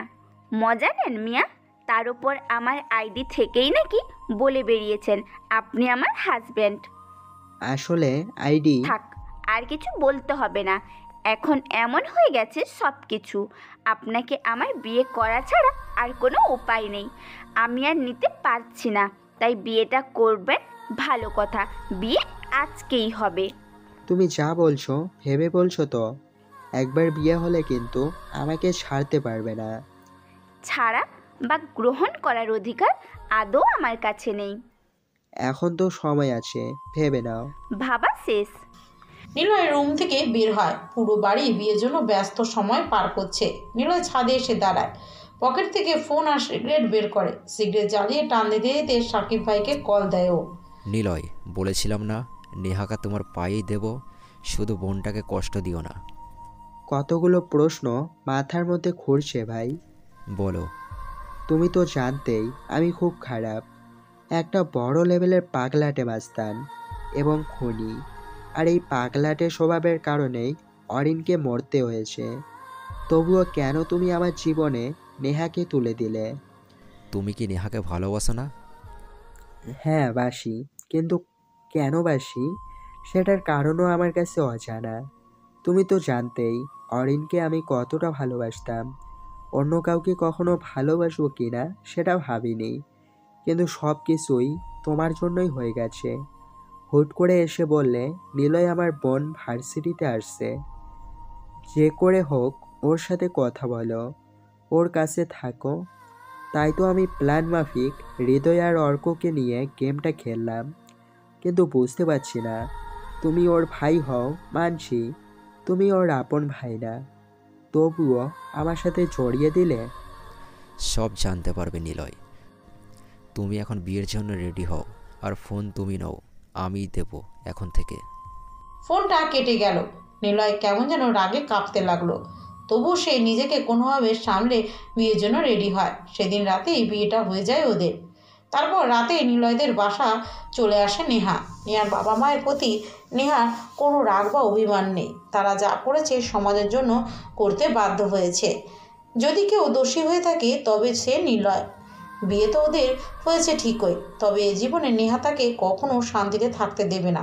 এসব কিছু বাসর ঘরে বসে বসে নেহা ভাবছে। বাসর রাত নাকি নতুন জীবন শুরু করার রাত। নেহা নিলয়ের সুখে থাকতে দেবে না। সেটা ভেবে নেহা মাঝে মাঝে পৈচাসিক হাসি দিয়ে ওঠে। এতদিন নিলয় নেহাকে পাওয়ার জন্য অনেক কষ্ট দিয়েছে আর সেসব নেহা সহ্য করেছে। কিন্তু এবার নেহা তাকে কষ্ট দেবে। নিলয় বাসর ঘরে প্রবেশ করে নেহাকে বলে, অনেক রাত হয়েছে, তুমি আগে ফ্রেশ হয়ে আসো। আমি পরে যাব। নিয়া কোনো কথা না বলেই ফ্রেশ হতে চলে যায়। কিছুক্ষণ পর সে বের হয়। নিলয় রুমের মধ্যে পায়চারি করছে। নেহাকে দেখে হা হয়ে চেয়ে আর থাকে। কারণ নেহা শাড়ি ছেড়ে ফিরোজা কালারের থ্রি পিস পরে এসেছে। আর এটাতে নেহাকে আরও বেশি সুন্দর লাগছে নিলয় বলে। তোমাকে অনেক বেশি সুন্দর লাগছে। আমি এমনিতেই সুন্দরী। না হলে পেছনে ঘুরতেন না। আর এই সুন্দরকে ছোঁয়ার চেষ্টা করবেন না। একটা কথা কান পরিষ্কার করে শুনে রাখুন। বিয়ে করার স্বাদ জেগেছিল পূরণ করেছেন। এখন আমাকে নিজের দাসী বানাবেন এমনটা ভেবে থাকলে ভুল ভাবছেন। আমি আমার ইচ্ছে মতোই চলবো। আপনার কথাই না? আচ্ছা ঠিক আছে। যা ইচ্ছে করো। আমিও দেখতে চাই তুমি কি করতে পারো আর কতটুকু করতে পারো। আমার ঘুম পাচ্ছে। আমি এখন ঘুমাবো আর একটা কথাও ভুলেও আমার কাছে আসার চেষ্টা করবে না। বাহ বিয়ে করেছি কি দূরে থাকার জন্য নাকি? কেন? আপনি না বলেছিলেন আপনি মহাপুরুষ আমার শরীরের প্রতি আপনার নাকি কোনো লোভই নেই? হ্যাঁ ঠিকই তো বলেছি। আমি তোমাকে ভালোবাসি। আর এখন বিয়ে যেহেতু হয়ে গেছে তখন তোমার সব কিছুর উপর আমার অধিকার রয়েছে। তুমি তো অস্বীকার করতে পারো না। এই এই আপনার ভালোবাসা? কেন? আমি তো আগেই বলেছি আমি খুব স্বার্থপর প্রেমিক। নিজের প্রাপ্য আমি ঠিক আদায় করে নেব। আগে আমার ভালোবাসাটা আদায় করুন পরে না হয় শরীরের ওপর অধিকার ফলাতে আসবেন। ঠিক আছে শর্ত মেনে নিলাম। শরীরের উপর অধিকার পড়ে কিন্তু একটা কথা মনে রেখো আমি তোমার স্বামী। নেহা মুচকি হাসে। নিলয় ওর হাসির দিকে তাকিয়ে হাসির কারণ খোঁজার চেষ্টা করছে। নেহা মনে মনে ভাবছে। তোমার মতো গুন্ডা স্বামীকে বোঝাবো কি করে? সুখে থাকতে হয়? আমাকে তো চেনোই না। তুমি সময় হোক ঠিকই বুঝতে পারবে। এদিকে নেহা মুখে বলে আপনি সোফাতে ঘুমাবেন? কেন? আমার বিছানা থাকতে আমি সোফাতে ঘুমাবো কেন? আমি বিছানায়। আপনি সোফাতে? বললাম না আগে আমার ভালোবাসা অর্জন করুন তারপর সব কিছু আর কি এমন রাফিয়ান আপনি যে একটা মেয়েকে বিয়ে করতে পারলেন আর তার ভালোবাসা অর্জন করতে পারবেন না? আপনার তো ফাঁসি লাগিয়ে মরে যাওয়া উচিত। ঠিক আছে ঠিক আছে। আমি সোফাতে ঘুমাচ্ছি। আর তোমার ভালোবাসা তো আমি পেয়েই ছাড়বো। ইগো হার্ট কথাবার্তা কম বলো। হ্যাঁ দেখা যাক কেমন পারেন। দুজনে ঘুমিয়ে পড়ে। সকালে ঘুম থেকে উঠেই নেহা অবাক চোখে তাকিয়ে দেখে নিলয় বেডে ঘুমিয়ে আছে। নেহা এভাবে নিলয়কে দেখে সোজা ওয়াশরুমে গিয়ে এক মুখ পানি এনে তার উপর বর্ষণ করল। নিলয় ধুম করে উঠে চিল্লিয়ে বলতে লাগল কার এত বড় সাহস? আমার উপর ঠান্ডা পানি ঢালে? আর কার এত সাহস হবে? জনাব আপনার তথাকথিত বউ ছাড়া আপনি বিছানা ছেড়ে উঠবেন নাকি আরও পানি আনব। নিজের জায়গাতে থাকবেন। বুঝেছেন? বিছানায় কি করছেন? এই না না। এমন কেন করছ তুমি? জানো না আমার এত সকালে ঘুম ভাঙে না? আর বিছানা তো আমারই। না জানি না। আর অন্যের সুখ হারাম করে নিজের সুখের নিদ্রায় শায়িত হবেন? তা আমি থাকতে যে হতে দিতে পারি না? আর আপনার সাহস হয় কেমনে? সোফা থেকে বেডে আসার সেটা বলেন। নিজের বেডে আসতে আবার তোমার অনুমতি লাগবে নাকি? আর কি করব রাতে? ঠান্ডা লাগছিল। দেখো না নাটক। বরের ঠান্ডা লাগলে বউ কাঁথা এনে দেয়। আহারে বেশি কথা বললে আবার পানি এনে ঢালবো এই শীতের সকালে বুঝলেন? আরে এমন করো কেন? চুপ ঠান্ডা লাগছিল তো কম্বল নিয়ে শুতে পারলেন না। মনে ছিল না। একদম কাছে আসার বাহানা খুঁজবেন না। আর মির্জার শর্তের কথা মনে আছে তো? হুম বেশ মনে আছে। আর তোমার কাছে যাওয়ার জন্য আমার কোনো বাহানার দরকার নেই। আমি চাইলেই। চাইলেই কি? চাইলেই তোমাকে কাছে পেতে পারি ঠিক এভাবে। কথাটা বলে নিলয় নেহার হাত ধরে টান দিয়ে ওর কাছে নিয়ে আসে। নেহা ভয়ত্ব দৃষ্টিতে নিলয়ের দিকে তাকায়। নিলয় বিছানায় ইচ্ছাকৃতভাবে আসেনি। রাতে সাকিব ভাইয়ের সাথে দেখা করে। মাহবুব সাহেবের ঝামেলা নিয়ে অনেক রাত করে বাসায় ফিরতে হয়েছে। বলতে গেলে মোড়ের দিকে নিলয় বাড়িতে আসছে। তাই এসে কখন যে বিছানায় গা এলিয়ে দিতে ঘুম চলে আসে, নিলয় খেয়ালই করেনি। নিলয় নেহাকে কোলের উপর বসাতে নেহা বলল, দেখুন, আমি কিন্তু চিৎকার দিব। দাও না কে আটকিয়েছে? তবে কি বলবে চিৎকার দিয়ে? যা সত্য তাই বলব। কি বলবা জান? বলব আপনি আমার সাথে অসভ্যতা করেছেন। আমি কিন্তু এখন কিছুই করিনি বরং তুমি আমার আরামের ঘুমটা হারাম করেছ। এখন অসভ্য বলছো। যেহেতু এখন অসভ্য বলছো যেহেতু সেহেতু কিছু অসভ্যতামি করাই যায়। কি বলো? আর তুমি আমার বউ বলে কথা। তোমার সাথে প্রেম করব ভালোবাসবো আর অসভ্যতামিও করব না। তা কি হয়? ওটাই তো প্রেম। একদম কাছে আসবেন না। কাছে আসব কি? কাছে টেনে নিয়েছি। এবার শুধু তোমার নরম ঠোঁটের সাথে আমার ঠোঁট মিশিয়ে দিয়ে মিষ্টি আদান প্রদান করা দরকার। ওই ওই ছাড়ুন বলছি। কথাটা বলে নেহা নিজেকে নিলয়ের থেকে ছাড়িয়ে নেয়। জোরে একটা ধাক্কাও দেয় নিলয়কে। দৌড়ে রুম থেকে বের হয় নেহা। নিলয় কেবল তার চলে যাওয়ার দিকে তাকিয়ে আছে। এরকম পাগলামো অরিনও করতো। নিলয় কিছুক্ষণ বসে বসে অরিনের কথা চিন্তা করতে থাকে। নিলয়ের কেউ নেই, যাকে নিলয় এখন মা বলে আসলে নিলয় তার ছেলে না। নিলয় ওদেরকে বাঁচিয়েছিল বলে তারপর থেকে নিলয় ওই মহিলাকে মা বলে ডাকে। যখন সে ক্লাস ফাইভে পড়তো, সে সময় জীবনে ওর সব কিছুই ছিল। সুখ, শান্তি, মা, বাবা, পরিবার সব কিছুই নিলয় তার বাবাকে সবচাইতে বেশি ভালোবাসতো, কারণ ওর বাবাই ছিল নীলার কাছে একজন পথ প্রদর্শক। সবসময় বাবার আদলে সে ছোট থেকেই অনেক কিছু শিখেছিল। নীলয়ের মা ছিল প্যারালাইজড প্রায় বাবা নেশা করে বাড়িতে আসলেও নিলয়ের বাবা তা ঠিক কন্ট্রোল করে চলতো। নেশা করে আসলেও তিনি কখনো মাতলামো করতেন না। একদিন ধীরে বৃষ্টি পড়ছে। নিলয় বাতি জ্বালিয়ে বই পড়ছিল। নিলয় হঠাৎ দরজা খোলার শব্দ শুনতে পায়। তাকিয়ে দেখে তার বাবা নেশা করে ঘরে ফিরছে। নিলয় পড়ায় মনোযোগ দেয়। কিছু সময় পর পাশের রুম থেকে চিৎকার শুনতে পায়। দয়া করে আমাকে ছেড়ে দাও নীলয়ের বাপ। তুমি তো জানোই আমার কোনো শক্তি নেই। তবুও তুমি কেন আমার সাথে এমন করছ? দেখো বউ একটা পুরুষ কতদিন ধরে শরীরের ক্ষুদা না মেটিয়ে থাকতে পারে বলো? আমি আজ কোনো কথা শুনব না। কত বছর হয়ে গেল তোর সাথে? আমার কিছু হয় নাই। নীলয়ের বাপ তুমি কেন বুঝতে পারছ না?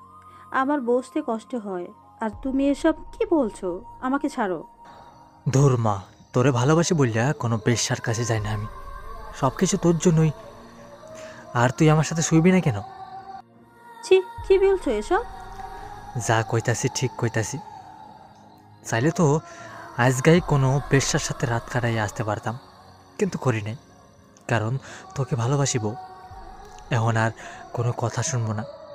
আজকাই তোরে আমার খিতা পূরণ করতেই হইব। নে আর দেরি করিস না।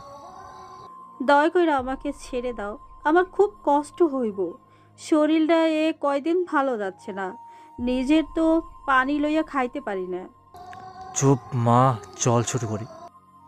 নিলয়ের মা কাঁদতে থাকে। একসময় নিলয়ের বাপের সাথে ঝগড়া বেঁধে যায়। এতে করে নিলয়ের বাবা আরও খেপে যে তখনই নিলয়ের মায়ের উপর অত্যাচার করতে থা যাবে ঠিক তখনই নিলয়ের মা চিৎকার দিয়ে উঠে বলে ওরে নিলয় আমারে বাঁচা রে বাপ। তোর বাপে দেখ নেশা কইরা কি সব কইতাছে? নিলয় দৌড়ে পাশের ঘরে চলে যায় বাবাকে আটকায়। কিন্তু সেদিন নেশাতে বুধ থাকায় নিলয়ের বাবা নিলয়কে লাথি দিয়ে ফেলে নিলয়ের মায়ের উপর ঝাঁপিয়ে পড়ে। নিলয়ের মায়ের চিৎকার নিলয় আর সহ্য করতে পারেনি। দৌড়ে রান্নাঘর থেকে ছোট বটি নিয়ে সজোরে নিলয় তার বাবার গলাতে কোপ দিয়ে বসে। তিনি সেখানেই মারা যায়। আর এসব কিছু দেখে নিলয়ের মা সেদিন রাতেই স্ট্রোক করে মারা যায়। তারপর আর কি নিলয়কে কিশোর সংশোধনী কারাগারে নিয়ে যাওয়া হয়। কিন্তু নিলয় সেখানে সবার মতো করে বড় হতে পারে না। ওর মতো অনেক বাচ্চাও সেখানে থাকে। সবাই নিজেদের মতো করে হই হুল্লোড় করে। কিন্তু নিলয় সবসময় চুপচাপ হয়ে গাছের নিচে বসে থাকতো। সেই কারাগারে জেলার ছিল মিস্টার আলতাব উদ্দিন কেন যেন নিলয়কে তিনি একটু বেশি কেয়ার নিত। একসময় তিনি নিলয়কে তার বাড়িতে নিয়ে যায়। অবশ্য তার জন্য সরকারি পারমিশনও নিতে হয়েছিল, আর সেই বাড়িতেই থাকতো আলতাফ সাহেবের মেয়ে অরিন। তারপর অরিনের সাথে ছোট থেকে নিলয়ের ঘনিষ্ঠতা বেড়ে যায়। এক সময় ভালোবাসাতে রূপ নেয়। দুজন দুজনকে ভালোবেসে ফেলে। কিন্তু সে সময় পরিচয় হয় সাকিব ভাইয়ের সঙ্গে। আর তিনি ছিলেন ছোটোখাটো মস্তান। আর সেখান থেকেই মস্তানিটা শুরু নিলয়ের তবে পাগলামোটা বেড়ে যায় অরেনকে ঘিরে। কারণ অরেনের পরিবার ওদের ভালোবাসার কথা জেনে যায়। একসময় পরিবারের চাপে পড়ে অরিনও নিলয়কে ফিরিয়ে দেয়, যা নিলয় মেনে নিতে পারেনি। দিনগুলো ওদের ঝগড়া দিয়েই পার হচ্ছিল। একদিন নিলয় জানতে পারে অরিনকে বিয়ে দিয়ে দিচ্ছে। সেদিন রাতে অরিনকে নিলয় বন্ধুদের সাহায্যে তুলে নিয়ে আসে, কিন্তু সমস্যাটা ঘটে বন্ধুদের নিয়ে। নিলয় চেয়েছিল অরিনকে নিয়ে সে পালিয়ে অনেক দূরে সব কিছু ছেড়ে একসাথে থাকবে, কিন্তু অরিন নিলয়কে মানতে চাইছিল না। আর এদিকে নিলয়ের বন্ধুদের অরিনকে কেবল তুলে এনেছিল অসৎ উদ্দেশ্যে, যা নিলয় পরে বুঝতে পারে। যখন অরিনকে নিলয় ফিরিয়ে নিয়ে যাওয়ার কথা বলে। তখনই বন্ধুদের সাথে নিলয়ের ঝামেলাটা বাঁধে। একসময় হাতাহাতিও শুরু হয়। নিলয়কে তার বন্ধু হোসেনই পিছন থেকে গুলি করতে আসে। ঠিক তখনই অরিন নিলয়ের পিছনে এসে দাঁড়ায়। অনিনের পেটে গুলিটা লাগে আর অরিন তখনই মারা যায়। তারপর থেকে নিলয়ের পাগলামো স্বভাব চলে আসে।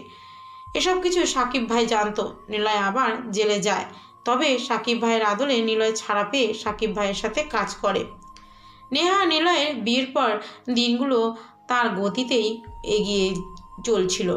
তবে বিয়ের পর নেহা খেয়াল করেছে, নিলয় আর আগের মতো মস্তানি করে না। সবসময় নেহার আশেপাশে ঘুরঘুর করে। কেবল সাকিব ভাই ডাকলেই নিলয় যায়। আর এদিকে নেহা নিলয়কে কিছুতেই মেনে নিতে পারছে না। নিলয়কে জ্বালানোর জন্য নেহা প্রতিদিন নতুন নতুন পদ্ধতি বের করলেও নিলয় তা হাসি মুখে সহ্য করে। যেমন নিলয় চায় চিনি আধা চামচ খায়, নেহা চার চামচ করে নিয়ে দিলে অনায়াসে খেয়ে নেয়। কিছুই বলে না নিলয়। নিলয়ের পছন্দের শোপিস নেহা ভাঙার পরেও সে চুপ থাকে। নেহা ইচ্ছাকৃতভাবে হাতে গরম কফি ঢাললেও নিলয় কিছু বলে না। এভাবে প্রতিদিন নতুন কিছু চেষ্টা করছে নেহা, কিন্তু কোনো কিছুই কাজে লাগছে না। নিলয় সব কিছু সহ্য করে। এমন একটা ভাব নেয় যেন কিছুই বুঝতে পারে না।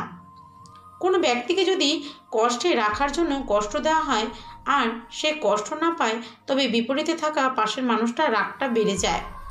তেমনটা নেহারও হচ্ছে, কারণ নেহা তার জীবনটা নরক বানাতে চেয়েছে, কিন্তু নিলয়ের মাঝে কষ্ট পাওয়ার কোনো অনুভূতিই দেখছে না।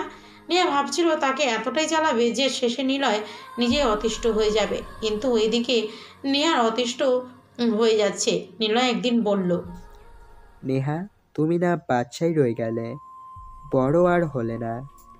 হঠাৎ এ কথা? কি সব বাচ্চাদের মতো কাজ করো? আরে মাথা খাটাও বড় হও। তবেই না আমাকে কষ্ট দিতে পারবে? মানে? মানে হলো তোমার দেওয়া এসব কষ্ট আমার জন্য কষ্ট নয় বরং তোমার একটা চোখের ইশারায় আমাকে কষ্ট দেওয়ার জন্য যথেষ্ট।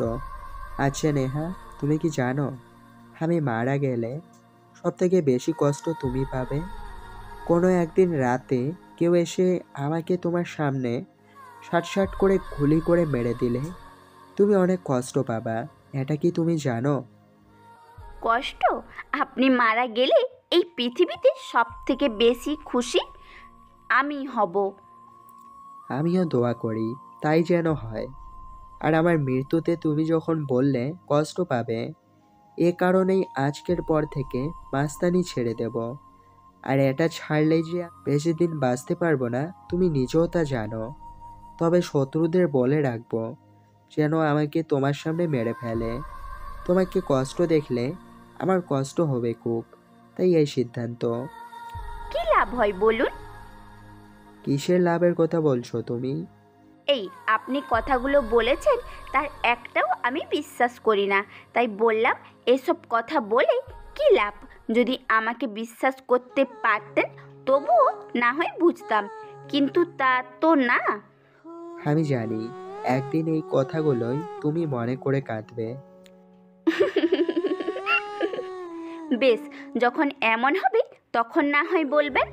নিলয় রুম থেকে বের হয়ে যায়। অর্ক মাসুম এসে দাঁড়ায় ওর পাশে। সাকিব ভাইয়ের সাথে নিলয় রাগারাগি করছে। সাকিব চেয়েছিল নিলয় যেন তার থাকে। কিন্তু বিয়ের পর নিলয় পুরো পাল্টে যায়। এ কারণে সাকিব ভাই নিলয়ের ওপর খ্যাপা।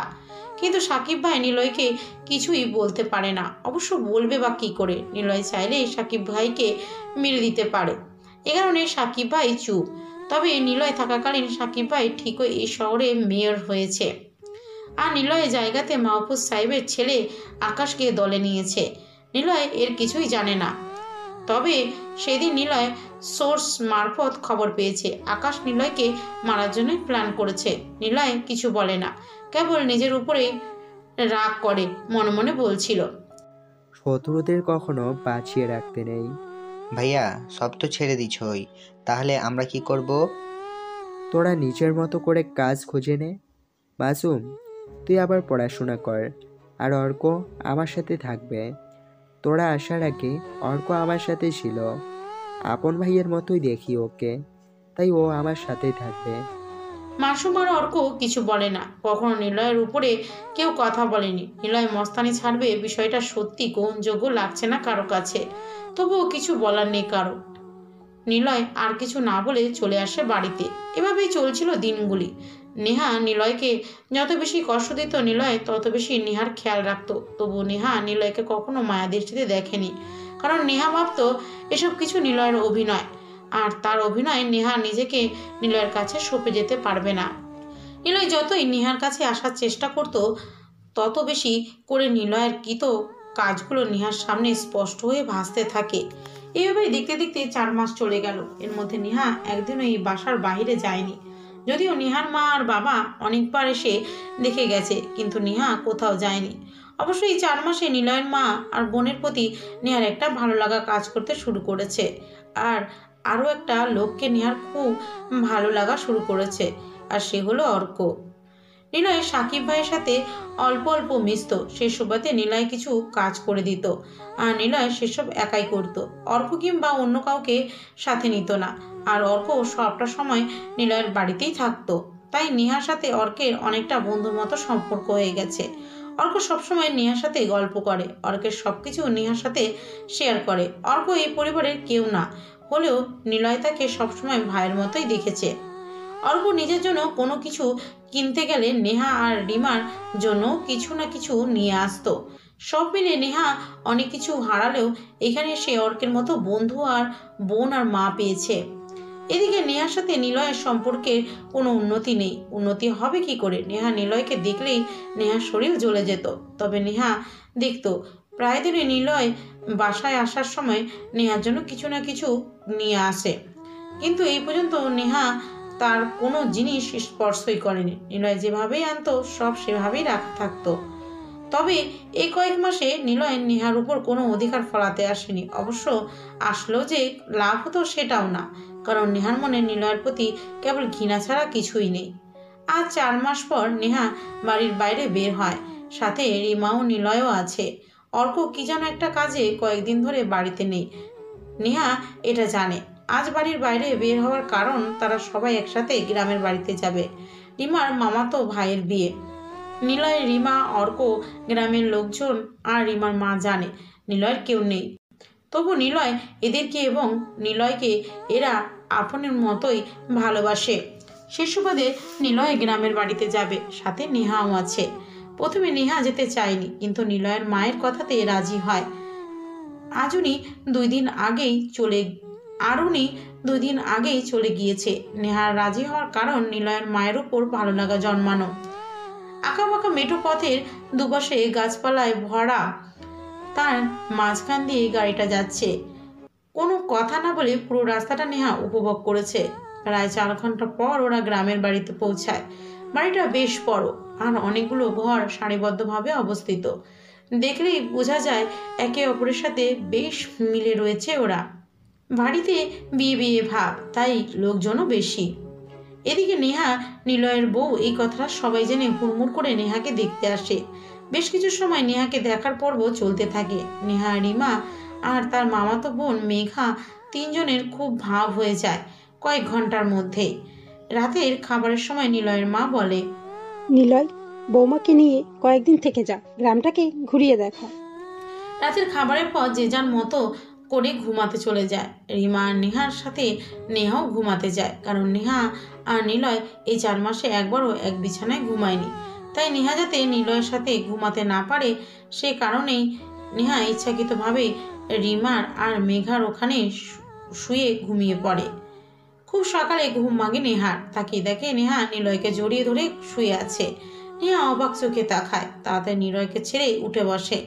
নেহা নিলয়ের দিকে তাকায়। অন্য সময় হলে এতক্ষণ নিলয়ের উপর ঝড় বয়ে যেত। কিন্তু এখন নেহা সেটা করতে পারছে না, কারণ এখন সে অচেনা জায়গাতে। না হলে দুজনে এক বিছানায় শোয়ার জন্য নিলয়কে এতক্ষণ অনেক কিছু সহ্য করতে হতো। নেহা নিলয়ের দিকে এক দৃষ্টিতে তাকায়। নিলয়ের ঘুমন্ত চেহারা এত কাছ থেকে এভাবে আগে কখনো দেখেনিও।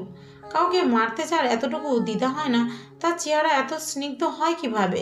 নেহা নিলয়ের ঘুমন্ত চেহারার দিকে তাকিয়ে সব কিছু ভাবে। পরক্ষণে নিচে বলে ওঠে এই আমি এসব কি ভাবছি? এই লোকটার প্রতি আমার কোনো অনুভূতি কাজ করার প্রশ্নই আসে না। আর এত সহজেই আমি তার কৃত কাজগুলো কীভাবে ভুলে যাচ্ছি? তবে কি নিলয়ের প্রতি আমার কোনো নতুন অনুভূতির সৃষ্টি হচ্ছে? অসম্ভব। এসব আজেবাজে চিন্তা না করাই ভালো। দ্রুত নিলয়ের পাশ থেকে নেহা উঠতে যাবে তখনই নিলয় জেগে উঠে কি হয়েছে? আপনি এখানে কেন? হুম হুম। আমি তো সরি আসলে কাল রাতে সবাই থাক আর বলার দরকার নেই। তুমি ফ্রেশ হও তারপর আমরা বের হব। বের হব মানে? কাল রাতে মা বলল না তোমাকে গ্রামটা দেখাতে? তাই আজ তোমাকে গ্রাম দেখাতে নিয়ে যাব। এত সকালে আমি যাব না। না যেতে হবে। আমি একা আপনার সাথে যাব না। রিমা মেঘা ও ওদেরকে নিয়ে যাবা। ওরা যাবে না আমাদের সাথে। কেন যাবে না? ওহ বুঝতে পারছি। ওরা চাচ্ছে আমি আর আপনি আলাদা একটা সময় একসাথে থাকি তাই না? হুম। শীত শীত আমেজ। সকালে সবুজ ঘাসের উপর বিন্দু বিন্দু শিশির কণা জমা হয়ে আছে। দুজনে এই শিশিরে ভেজা সবুজ ঘাসের উপর দিয়ে খালি পায়ে হাঁটছে। কেমন একটা ভালো লাগার অনুভূতি কাজ করছে আজ নেহার মনে। এটা একটা আলাদা অনুভূতি, যার আগে কখনো হয়নি। চারিদিকে সবুজ ঘাসগুলোর উপর হালকা শিশির পানি ঘাসগুলোকে আরও বেশি সতেজ করে তুলেছে। খালি পায়ে এই ঘাসের উপর হাঁটার সময় শিশির এই বিন্দু বিন্দু পানিতে পা ধুয়ে যাচ্ছে। নিলয় একটু এগিয়ে গিয়ে দাঁড়ায়। নেহার দিকে তাকিয়ে থাকে। নেহা ও নিলয়ের দিকে তাকায়। নেহা অবাক চোখেই তাকায় নিলয়ের দিকে কারণ নেহা আজ নিলয়ের দৃষ্টিতে অন্য এক নেহাকে আবিষ্কার করেছে। নেহা মনে মনে বলে কি দেখছেন? ওই এমন করে আমার দিকে? নেহা জানে না তবে সে এক অদ্ভুত চাহনি নিলয়। সেই চাহনিতে কেমন যেন নেশা লেগে যাচ্ছে নেহার। নেহা আবারও মনে মনে বলে না আর এভাবে তাকিয়ে থাকা সম্ভব না। বেশিক্ষণ তাকিয়ে থাকলে হয়তো আমি সেই নেশায় মগ্ন হয়ে কোনো এক অতলে হারিয়ে যাব। আর যেখান থেকে নিজেকে খুঁজে পাওয়ার কোনো কিনারাও হয়তো মিলবে না। নেহা ঠিকই বুঝতে পেরেছে নিলয়। চোখ আজ নেহাকে অনেক কিছু বলতে চাচ্ছে কিন্তু নেহা হয়তো তা বুঝতে পারবে না। নিলয় কি বলতে চায়? নেহা প্রকৃতি মাঝে নরম ঘাসের উপর পা ফেলাতে থাকে সে ভাবে। যা ইচ্ছে বলতে চায় বলুন। আমি ওর দিকে সাড়া দেব না। খারাপ মানুষের অনুভূতিতে সাড়া দিলে বিপদ আছে। এর থেকে আমি যেমন আছি তেমনি থাকি। নেহা হাঁটতে হাঁটতে কথাগুলো বলতে থাকে। ঠিক তখনই নেহার ফোনে একটা কল আসে। ফোনটা হাতে নিয়ে দেখে অর্কের ফোন। তাড়াতাড়ি রিসিভ করতেই উপাস থেকে অর্ক বলে কেমন আছো নেহা? ভালো আছি। অর্ক ভাইয়া আপনি কেমন আছেন? এই তো আছি আর কি। তোমাদের খুব মিস করছি। মা কেমন আছে? মা ভালো আছে।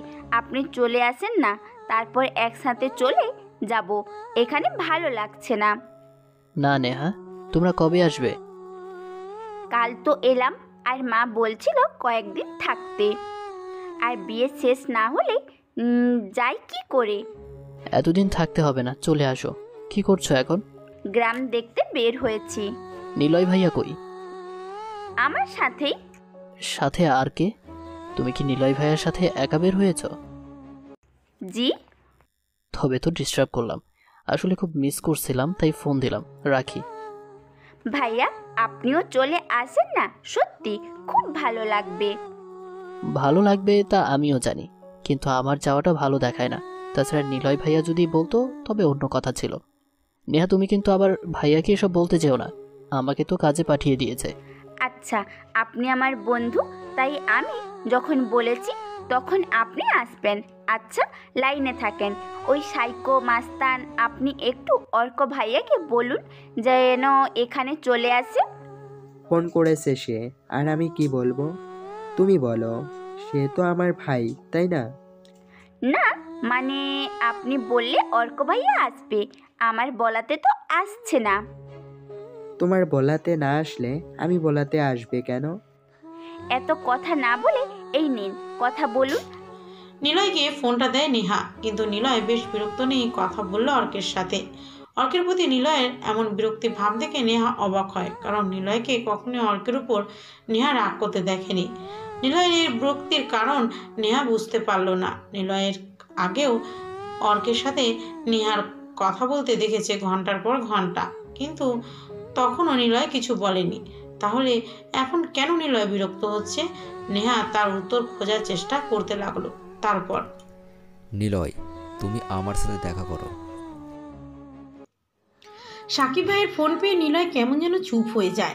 কারণ সাকিব ভাইয়ের কণ্ঠটা আজ নিলয়ের কাছে অন্য কোনো রকম লাগে। সাকিব ভাই কখনো দেখা করার কথা বলেনি। তিনি কাজের জন্যই ফোন করতেন। আর কাজের কথাই বলতেন। কিন্তু আজ হঠাৎ এমনভাবে বলাতে নিজের কাছে অন্যরকম লাগতে শুরু করেছে। নিলয় প্রশ্ন করে। কি হয়েছে ভাই? তোমার আকাশের কথা মনে আছে? হুম কিন্তু কেন? তুমি আমার সাথে দেখা করো আজ সব প্রশ্নের উত্তর জানবে। আচ্ছা।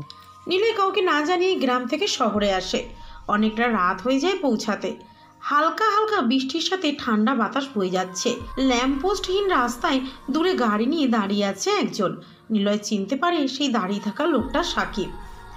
নিলয় কয়েক মিটার দূরে নিজের গাড়িটা রেখে আলো অন করে গাড়ি থেকে বের হয়। চারপাশে ঘুরঘুটে অন্ধকার। গাড়ি থেকে নামার আগে নিলয় তার মস্তানি পোশাক পরে নেয়। কেন যেন নিলয়ের মনে অন্যরকম কিছু চলছে সাকিব ভাইকে নিয়ে। ধীর পায়ে এগিয়ে যেতে থাকে নিলয়। সাকিব ভাইয়ের থেকে কয়েক হাত দূরে এসে দাঁড়ায় নিলয়। সাকিব ভাই নিলয়ের দিকে তাকিয়ে মুচকিয়ে হাসি দেয়। নিলয় কিছু বলে না, কেমন যেন উত্তেজনায় চারপাশ ভরে যাচ্ছে। সাকিব ভাই ইশারা করলে কাঁদে যেন। সাথে সাথে দুটো ছেলে দুটো চেয়ার নিয়ে চলে আসে। একজন নিলয়ের কাছে আর একজন সাকিব ভাইয়ের কাছে চেয়ার দিয়ে অন্ধকারে চলে যায়। নিলয় চেয়ারে বসে বাম পায়ের উপর ডান পা তুলে বসে সিগারেট জ্বালালো। সাকিব ভাই ইশারায় সিগারেট টানতে নিষেধ করতেই নিলয়ের দিকে কয়েকটা স্টিক ছুড়ে দেয়। নিলয় তা ক্যাচ করে সাকিব ভাইয়ের দিকে মুচকি হেসে তাকায়। হেসে তিনি বলেন কেমন আছো নিলয়? নিলয় স্টিকে টান দিয়ে ধোঁয়াগুলো আকাশের দিকে তাকিয়ে গোল গোল করে ছেড়ে দিল।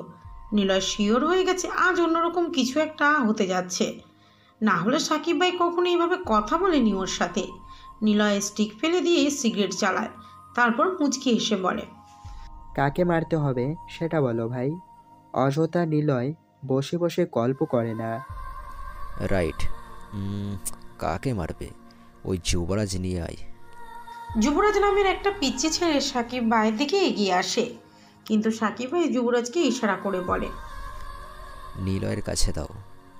যুবরাজ নীলার কাছে যেয়ে দাঁড়ায়। নিলয় ওর হাতের দিকে তাকায় একটা ছবি উল্টোভাবে রাখা। নিলয় সেটা হাতে নিয়ে সোজা করতে জোরে হেসে ওঠে। যুবরাজ ভয় পেয়ে দৌড়ে সাকিব ভাইয়ের পিছনে এসে দাঁড়ায়। নিলয় ছবির দিকে তাকিয়ে থাকে অনেকক্ষণ। ছবিটা নেহার, আর নেহার ছবিতে ক্রস চিহ্ন দেওয়া। অন্ধকার রাস্তায় কেবল বিপরীত পার্শ্বে দুটো গাড়ি, আলো ছাড়া আর কোনো আলো নেই। দুজন কালো পোশাক পরা লোক রাস্তার মাঝখানে বসে আছে। নিলয় হাসি থামিয়ে সিগারেটের আগুন দিয়ে ছবিটার কিছু অংশ পুড়িয়ে দিয়ে ছুঁড়ে ফেলে দেয় রাস্তায়। সাকিব ভাইয়ের দিকে তাকাতেই সাকিব ভাই বলে মাইন্ড গেম চেনো? এটার সাথে তো তুমি পরিচিত নিলয়। তোমার থেকে বড় মাইন্ড গেম আর আর কেউ নেই। এখানে অনেকগুলো পুলিশ এসে দাঁড়ালেও তুমি শান্ত ভঙ্গিতে মুচকি হেসে মাইন্ড গেম খেলবে, যা পুলিশেরাও বুঝতে পারবে না। বড্ড ঠান্ডা মাথার রাফিয়ান তুমি। কিন্তু তুমি রকস্টার নও। রকস্টার দেখবে, আমাকে দেখো। নিলয় মুচকি হাসে। নিলয়ের হাসির কারণ কখনো সাকিব ভাই জানতে পারেনি। সাকিব ভাই যদি কোনো কাজ দেয় নিলয় একটু হাসি দিয়ে চলে যায়। কেবল তখনই সাকিব ভাই বুঝতে পারে নিলয়ের মুচকি হাসির মানে কাজটা হয়ে যাবে। কিন্তু এখন কেন হাসছে ও? সাকিব ভাই কিছু বলতে যাবে তখনই নিলয় বলে। গ্যাং নিয়ে যে আসে সে গ্যাংস্টার। আর যে একাই আসে সে হলো রক স্টার তোমার সাথে অনেকে আছে ব্রো তুমি কখনো নিলয়ের সামনে একা আসনি। কিন্তু নিলয় সব সময় তোমার সামনে একা এসেছে। আমি একা চলি, কারণ আমার কোনো গ্যাং লাগে না। এই নিলয় একাই একটা গ্যাং, আর আমি রাফিয়ান হয়ে থাকতে চাই।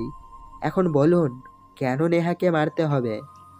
নিলয় আরও একটি সিগারেট জ্বালালো। সাকিব ভাই জানে, নিলয়ের খুব বিয়ার পছন্দ। সাকিব ভাই আবারও ইশারা করে। যুবরাজ বিয়ার হাতে নিলয়ের সামনে এসে দাঁড়ায়। নিলয় ভ্রু কুচকে তাকায় সাকিব ভাইয়ের দিকে। সাকিব ভাই আজ সব কিছু সেজেই নিয়ে এসেছে। এর কারণ আজ বড় কিছু হতে যাচ্ছে। নিলয় বিয়ারের বোতল হাতে নিয়ে ছিপি খুলে এক ঢোক গলাতে দিয়ে সাকিব ভাইয়ের দিকে তাকায়। সাকিব ভাই বসা থেকে দাঁড়িয়ে বলে, নেহা, আমার বোন, বাপ একজন হলেও মা আলাদা। আর নেহার মাকে মানে আমার সৎ মাকে আমি নিজেই মেরে ফেলেছিলাম নিলয়, কারণ নেহার মায়ের জন্য যে আমার মা মারা গিয়েছিল। নেহার মা সংসারে আসার পর শান্তি ছিল না নিলয়, প্রতিনিয়ত বাবার সাথে আমার মায়ের ঝগড়া লেগেই থাকতো। আবার বাবা বাইরে গেলে নেহার মায়ের সাথে ঝগড়া লেগে থাকতো। একদিন সব কিছু সহ্য করতে না পেরে মা নিজ থেকেই মরে যায়। খুব ছোট ছিলাম, নিলয় সে সময়। মায়ের মৃত্যুটা নিজের চোখে দেখতে হয়েছে আমার। সতীনের ঘর করাটা কতটা কষ্টকর, সেটা একজন মেয়ে ভালো অনুভব করতে পারে। সাকিব ভাই থামলেন। নিলয় যুবরাজকে ইশারা করে যেন সাকিব ভাইকে একটা বিয়ারের বোতল দিতে। যুবরাজ তাই করে। সাকিব ভাই বিয়ারের বোতল নিয়ে মুখ খুলে ঢক ঢক করে একটা বিয়ার খেয়ে চেয়ারে বসে পড়ে। নিলয়ের সাথে সাথে কয়েক ঢোক বিয়ার খেয়ে নেয়। সাকিব ভাই কিছু সময় থেমে থেকে আবার বলে ছোট থেকে মা বাবার ঝামেলা আমাকে কেমন যেন করে দেয়। একটা সন্তানের কাছে মা হলো শ্রেষ্ঠ নেয়ামত। মা যখন মারা যায়, সেদিন মায়ের দিকে তাকাতে পারিনি কষ্টে। কেবল মনে হয়েছিল, আমাকেই সব ঠিক করতে হবে। জানি না সেদিন কি হয়েছিল। নেহার মায়ের খাবারে বিষ দিয়ে মেরে ফেলেছিলাম। মজার ব্যাপার কি জানো? ওই খাবার আমার বাবাও খেয়েছিল, কিন্তু তিনি মরেননি। হয়তো তার হার্ট শক্ত ছিল তবে মরেছিল নেহার মা। নেহার তখন দেড় বছর বয়স ঠিকমতো হাঁটতেও পারে না। বাবার সাথে হসপিটালে দেখা করি। সে সময় আমি পরিবারের সবাইকে ঘৃণা করতাম। বাবার দিকে তাকিয়ে বলেছিলাম বাবা কি দরকার ছিল আর একটা বিয়ে করার? জানি না রে ইচ্ছে ছিল তাই করেছিলাম। তোমাদের ইচ্ছের জন্য আমার মা আজ নেই। জানো বাবা, নেহার মাকে আমি নিজেই বিষ দিয়ে মেরেছি। তুমি ভালোবেসে নেহার মায়ের হাত থেকে খাবার খেয়েছিলে। কিন্তু তুমি বেঁচে গেলে, তবে তোমাকেও মারবো আমি। কাউকে শান্তিতে থাকতে দেব না। একটা কথা বলো তো, একজনকে ভালোবাসার পরও অন্য কাউকে ভালোবাসা যায় কীভাবে? আমার মা তোমাকে এত ভালোবেসেছিল। তুমি তার মূল্য না দিয়ে নেহার মাকে নিয়ে আসো। তোমার শান্তিতে আমি কষ্ট পেয়েছি, তাই তাকে মেরে ফেললাম। কি? তুই একটা পাগল, তোকে বাড়িতে রাখা যাবে না। এভাবে কারও প্রাণ নিতে পারিস ভাবতেই আমি অবাক হচ্ছি। তোর মতো জানোয়ার জন্ম দিয়েছি আমি, ভাবতেই আমার মরতে ইচ্ছে করছে। তো মরে যাও, কথাটা বলে আমি ওনার মুখে বালিশ চাপা দিয়ে হাসপাতালে মেরে ফেলি। আমি পাগল, ওনার নিঃশ্বাস বন্ধ না হওয়া অবধি বালিশ চেপে রেখেছিলাম। উনি বাঁচার জন্য হাত পা ছোড়াছুড়ি করছিলেন। আর আমি তীব্র শক্তিতে বালিশ চেপে রাখি। এরপর আর কি, পুলিশে ধরে নিয়ে যায় আমাকে। বাহিরের কোনো কিছুই জানি না। যখন কুড়ি বছর বয়স হয়, তখন ছাড়া পাই। তবে একদিন শুনেছিলাম, বাবা আগে থেকে সব সম্পত্তি নেহার নামে লিখে দিয়েছে। শালা মাদা আমার মাকে ভালোই বাসেনি। কুত্তার বাচ্চাকে কুফিয়ে মারলে মনের শান্তি মিটবে। জেল থেকে এসে ওর কবর থেকে কঙ্কাল তুলে কঙ্কাল তুলে এনে মাথার খুলিতে পা দিয়ে ধরে রাখি অনেকবার। মনের শান্তি মেটে না আমার। আমি পাগল, আমি সাইকো। সাকিব ভাই থেমে যায়। বিয়ারের বোতলে যতটুকু কোমল পানি ছিল, সবটুকু তিনি খেয়ে বোতলটা পিচ ঢালা রাস্তায় ছুঁড়ে মারলেন। নিলয়ে বোতলটা শেষ করে খালি বোতল ধরে বসে রইল। সাকিব ভাইয়ের চোখে মুখে রাগের প্রতিচ্ছবি নিলয় তা খুব ভালো করেই খেয়াল করেছে। রাফিয়ানের খেলাতে সবাই সাইকো। সবার মাথাতে কেবল রক্ত আর খুনের নেশা। নিলয় কেবল ভালোবাসা ভালোবাসাটা পেতে সাইকো হয়েছে আর সাকিব সাইকো হয়েছে খুনের নেশাতে। সাকিব ভাই বলে, জেল থেকে ফিরে এসে দেখি নেহা আর আগের জায়গাতে থাকে না। নেহা চলে যায় তার খালার কাছে। বর্তমানে তোমার শাশুড়ি নেহার খালা। এই নিকিতা বেগম, নেহার আপন খালা। ওরা শহরে চলে আসে নেহাকে নিয়ে। কারণ ওনাদের কোনো সন্তান ছিল না। নেহাকে তাদের সন্তানের পরিচয় দিয়ে বড় করেছে। ভাবছ সব কিছু জানার পর কেন আমি তোমাকে নেহার পিছনে ঘুরতে বলেছিলাম? নেশা বোঝো, নেশা। কারও থাকে মেয়ের নেশা, কারও থাকে টাকার। কেউ বা নেশায় পড়ে নেশাজা দ্রব্যের ওপর। পুরুষ চিনো নিলয়, আসল পুরুষ তো সেই যে। মেয়ে আর নেশাজাত দ্রব্য নিয়েই পড়ে থাকে, তাই না? মেয়ের নেশা বড়ই অদ্ভুত, কিন্তু আমার সেসব টানে না নিলয়, আমার টানে টাকা, খ্যাতি, পাওয়ার আর রক্তের নেশা। তুমি চাইলে তোমাকে টাকা দিয়ে ঢেকে দিতে পারি, আমি চাইলে তোমাকে মারতেও পারি, জানো? তোমাকে মারতে আমার কত টাকা খরচ করতে হবে? দশ কোটি। খুব অবাক হয়েছি। সামান্য একটা রাফিয়ানের জন্য এত টাকা কেন? তোমাকে দূর থেকে শার্ট শার্ট করে দু একটা গুলি করবে। তাতেই এত টাকা। আমার এখন টাকা হয়েছে, ক্ষমতা হয়েছে, তবে আমি আরও চাই। নিলয় সাকিব ভাইয়ের দিকে তাকায়। বোঝাই যাচ্ছে সাকিব ভাই আগেই নেশা করে এসেছে। ওনার ডুলুডুলি চাহনির কথাগুলো শুনে নিলয় বুঝতে পেরেছে। তবে সাকিব ভাই নেশা করলেও কখনো মাতাল হয় না। উনি সজ্ঞানেই কথা বলেন। এই প্রথম মানুষ যাকে নিলয় নেশার পরও সঠিকভাবে কথা বলতে দেখেছে, আর সাকিব বেশ রেগেই কথা বলছে, নিলয় বলে। নিলয়কে মারতে টাকার দরকার নেই ভাই। নিলয় মরে গলিতে না। এই রাফিয়ার নিলয় মরে কাছের মানুষদের বিশ্বাসঘাতকতায়। তুমি আমাকে মারলে কষ্ট পাবো, কারণ তোমাকে ভালোবাসি। তোমার দেওয়া গুলি আমার শরীর সহ্য করতে পারলেও এই মন সেটা নিতে পারবে না। কিন্তু নিলয়কে মারা আর সাপলুডু খেলা একই কথা ভাই। নিলয়কে তুমি চেনো না। রক্তের নেশা তোমার জানি। কিন্তু আমি রক্ত ছড়াতেও জানি। জানি রে মা, আমি সব জানি। নেহার কাছে একশো কোটি টাকার সম্পত্তি পড়ে আছে। এ কারণেই তোকে ওর পিছনে লেলিয়ে দিয়েছি, যাতে সম্পত্তিগুলো আমার হয়। আর হবে হবে। আমার বোন তোকে ভালোবাসতে শুরু করেছে। মানে? সে ভালোবাসতে শুরু করেছে মানে? সাকিব ভাই চুপ হয়ে যায়। ইশারা করতে কয়েকজন ছেলে বড় কালো রেইনকোট পরে সাকিব ভাইয়ের পাশে এসে দাঁড়াল। সাকিব ভাই চেয়ার টেনে নিলয়ের কাছে চলে আসে। তারপর কাঁধে হাত দিয়ে বলে দেখ ভাই তোকে ঠান্ডা মাথায় বলছি আমার সঙ্গ ছাড়িস না। নেহার সম্পত্তি আমার লাগবে না। আমি এখন অনেক টাকার মালিক।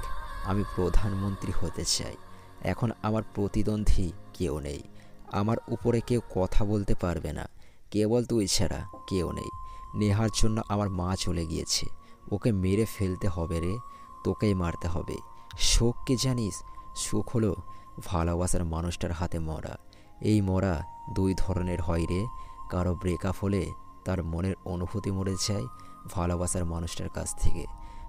তখন যে কষ্ট পায়, সে যদি দেখে তার সেই ভালোবাসার মানুষটা অন্য কারও থেকে কষ্ট পেয়েছে, তখন আগে যার মনের অনুভূতি মরে গেছিল সে হাসবে, সে খুশি হবে, এটাই তার সুখ। আর আরেকটা হলো, একেবারে মরা। আমি একেবারে মারতেই ভালোবাসি। আর এবার তুই তোর ভালোবাসাকে মারবি। আর আমি তা দেখে দেখে হাসব। তোকে অনেক টাকা দেব। রোজ সকাল দুপুর, বিকেল রাত একটা করে মেয়ে দেব। গাড়ি বাড়ি সব পাবি তুই। কেবল তুই নিজ হাতে নেহাকে মার? আমার স্বার্থটা কোথায় জানিস? তুই নেহাকে ভালোবাসার পরও মারবি। সে কষ্ট পাবে আর তুই মারবি বলে তুইও কষ্ট পাবি। তোদের কষ্টের গহরে আমি হাসবো। এটাই স্বার্থ। তুমি একটা পাগল ভাই। আমি সত্যি সাই করে সাইকোদা রাফিয়ান আমার অন্যের কষ্টে আনন্দ লাগে রে। বাবার সামনে তার যুবতী মেয়েকে ধর্ষণ করলে। বাবা যে কষ্ট পায়, আমি সেই কষ্ট দেখেও হাসি রে। আমি পাগল, আমি একটা সাইকো আমি পাগল রাফিয়ান। আমার মাথা ঠিক নেই রে, আমার স্বার্থ হাসিল করতে হবে। সাকিব ভাই জোরে হেসে ওঠে কথাগুলো বলে। মাথার চুলগুলো কয়েকবার টানতে থাকে। কেমন যেন উন্মাদের মতো আচরণ করতে থাকে সাকিব। নিলয় কাঁধ থেকে সাকিব ভাইয়ের হাতটা সরিয়ে নেয়। বিয়ারের বোতলটা রাস্তায় ফেলে দিয়ে চেয়ার ছুঁড়ে উঠে দাঁড়াল। সাকিব ভাই মাথা নিচু করে দাঁড়িয়ে আছে। নিলয় ঘুরে চলে আসতে চায়। কয়েক পা এগিয়ে যেতে সাকিব ভাই বলে তুই কি তাহলে করবি না? ভাই বাড়িতে যাও ঘুম দাও ঠিক হয়ে যাবে। এত কিছু বলার পরও তুই উত্তেজিত কেন হলি? আমি ঠিক থাকতে পারছি না। কেন তোর মাথা ঠান্ডা আছে বল? এই দেখ আমি কেমন গরম হয়ে গেছি। কুত্তার বাচ্চা আমার কাজটা করে দে না হলে না হলে? নিলয় ঘুরে দাঁড়ায়। সাকিব ভাইয়ের দিকে তীক্ষ্ণ দৃষ্টিতে তাকালো। সাকিব বিয়ারের বোতল হাতে দাঁড়িয়ে আছে। নিলয় তখনও চুপচাপ দাঁড়িয়ে থাকে সাকিব ভাই বলে। না হলে তোকে আমি মেরে ফেলব। এখন এখানেই। কে মারবে? হোড়া? ওই ছেলেগুলো আচ্ছা বেশ আমি রেডি না তোকে মারবে ও। নিলয় পিছনে ঘোড়ার আগে সাট করে একটা গুলি চলে। নিলয়ের গা ঘেসে গুলিটা চলে যায়। পিস্তলের শব্দ শুনে নিলয় বুঝে গিয়েছে খুব কাছ থেকে গুলি করা হয়েছে। তাই গুলিটা মিস হওয়ার কথা না। ইচ্ছে করেই গুলিটা মিস করানো হয়েছে। নিলয় পিছনে ঘুরে তাকালো। আকাশ দাঁড়িয়ে আছে হাতে পিস্তল নিয়ে। নিলয় কিছু বলতে যাবে তার আগেই সাকিব ভাই বলে পরের বার গুলটা মিস হবে না নিলয়, লাশটা এখানেই পড়ে থাকবে। বৃষ্টির পানিতে রক্তগুলো ধুয়ে যাবে। ভেসে যাবে বহুদূর। কাক শেয়ালে তোর মাংসগুলো কেড়ে কেড়ে খাবে। এর থেকে রাজি হয়েছে। নিলয় হেসে ওঠে। সাকিব ভাই আরও কিছু বলতে যাবে? নিলয় তখনই নিচু হয়ে পায়ে চেন কভারে থাকা জুতোর সাথে আটকানো পিস্তল হাতে নিয়ে এরপর পাঁচটা গুলি করে। প্রথম গুলিটা লাগে আকাশের কপালে, তারপর সাকিব ভাইয়ের পিছনে দাঁড়ানো চারজন ছেলের বুকে লাগে। সাকিব ভাইয়ের দিকে পিস্তল তাক করে নিলয় বলে, নিলয়ের কাছে কোনো পরের বার বলে কিছু নেই ভাই, যা করে একবারেই। নিলয়কে মারতে হলে প্রথমেই মেরে দেবে। দ্বিতীয়বার মারতে গেলে নিলয় উল্টো তোমাকেই মেরে দেবে ভাই। তোমাকে আমি মারবো না। তোমার পাগলাটে রাফিয়ানি আমার বড্ড ভালো লেগেছে। আমি আরও খেলতে চাই ভাই। মাইন্ড গেম হিয়া হিয়া তোমার সাথে। নিলয় আমাকে মেরে ফেল এখনই। না হলে একদিন দেখবি তোকে তোর কাছের মানুষগুলোই তোকে মারবে। যা আমি করে দেব। সেদিন সহ্য করতে পারবি তো? আমি কিন্তু খুব হাসবো সেদিন। অপেক্ষাতে থাকলাম। তবে আমাকে নেহার সামনে মারবে। আমি ওর সামনেই মরতে চাই। কেন? সেটা না হয় মরার আগেই বলে যাব। নিলয় আর দাঁড়ায়নি। গাড়ি চালিয়ে গ্রামের দিকে চলে আসতে থাকে। চোখ বেয়ে তার অনবরত পানি গড়িয়ে পড়ছে। নেহাকে এইসব সে কখনোই জানতে দেবে না। নেহা আজকের ঘটনা বা সে সাকিব ভাইয়ের বোন নিলয় তা কখনোই নেহাকে বলবে না। এ নিয়ে সাকিব ভাই চেয়ারে হাতে তুলে আছাড় মেরে রাস্তায় বসে পড়ে। যুবরাজকে গালি দিয়ে ডাক দেয়। যুবরাজ বুঝে গিয়েছে তাকে কি করতে হবে। যুবরাজ গাড়ি থেকে অনেকগুলো মদের বোতল এনে সাকিব ভাইয়ের সামনে রাখে। সাকিব ভাই ছিপে খুলে ঢক ঢক করে গিলতে থাকে। আর নিলয়ের চলে যাওয়া গাড়ির দিকে তাকিয়ে থাকে এক দৃষ্টিতে।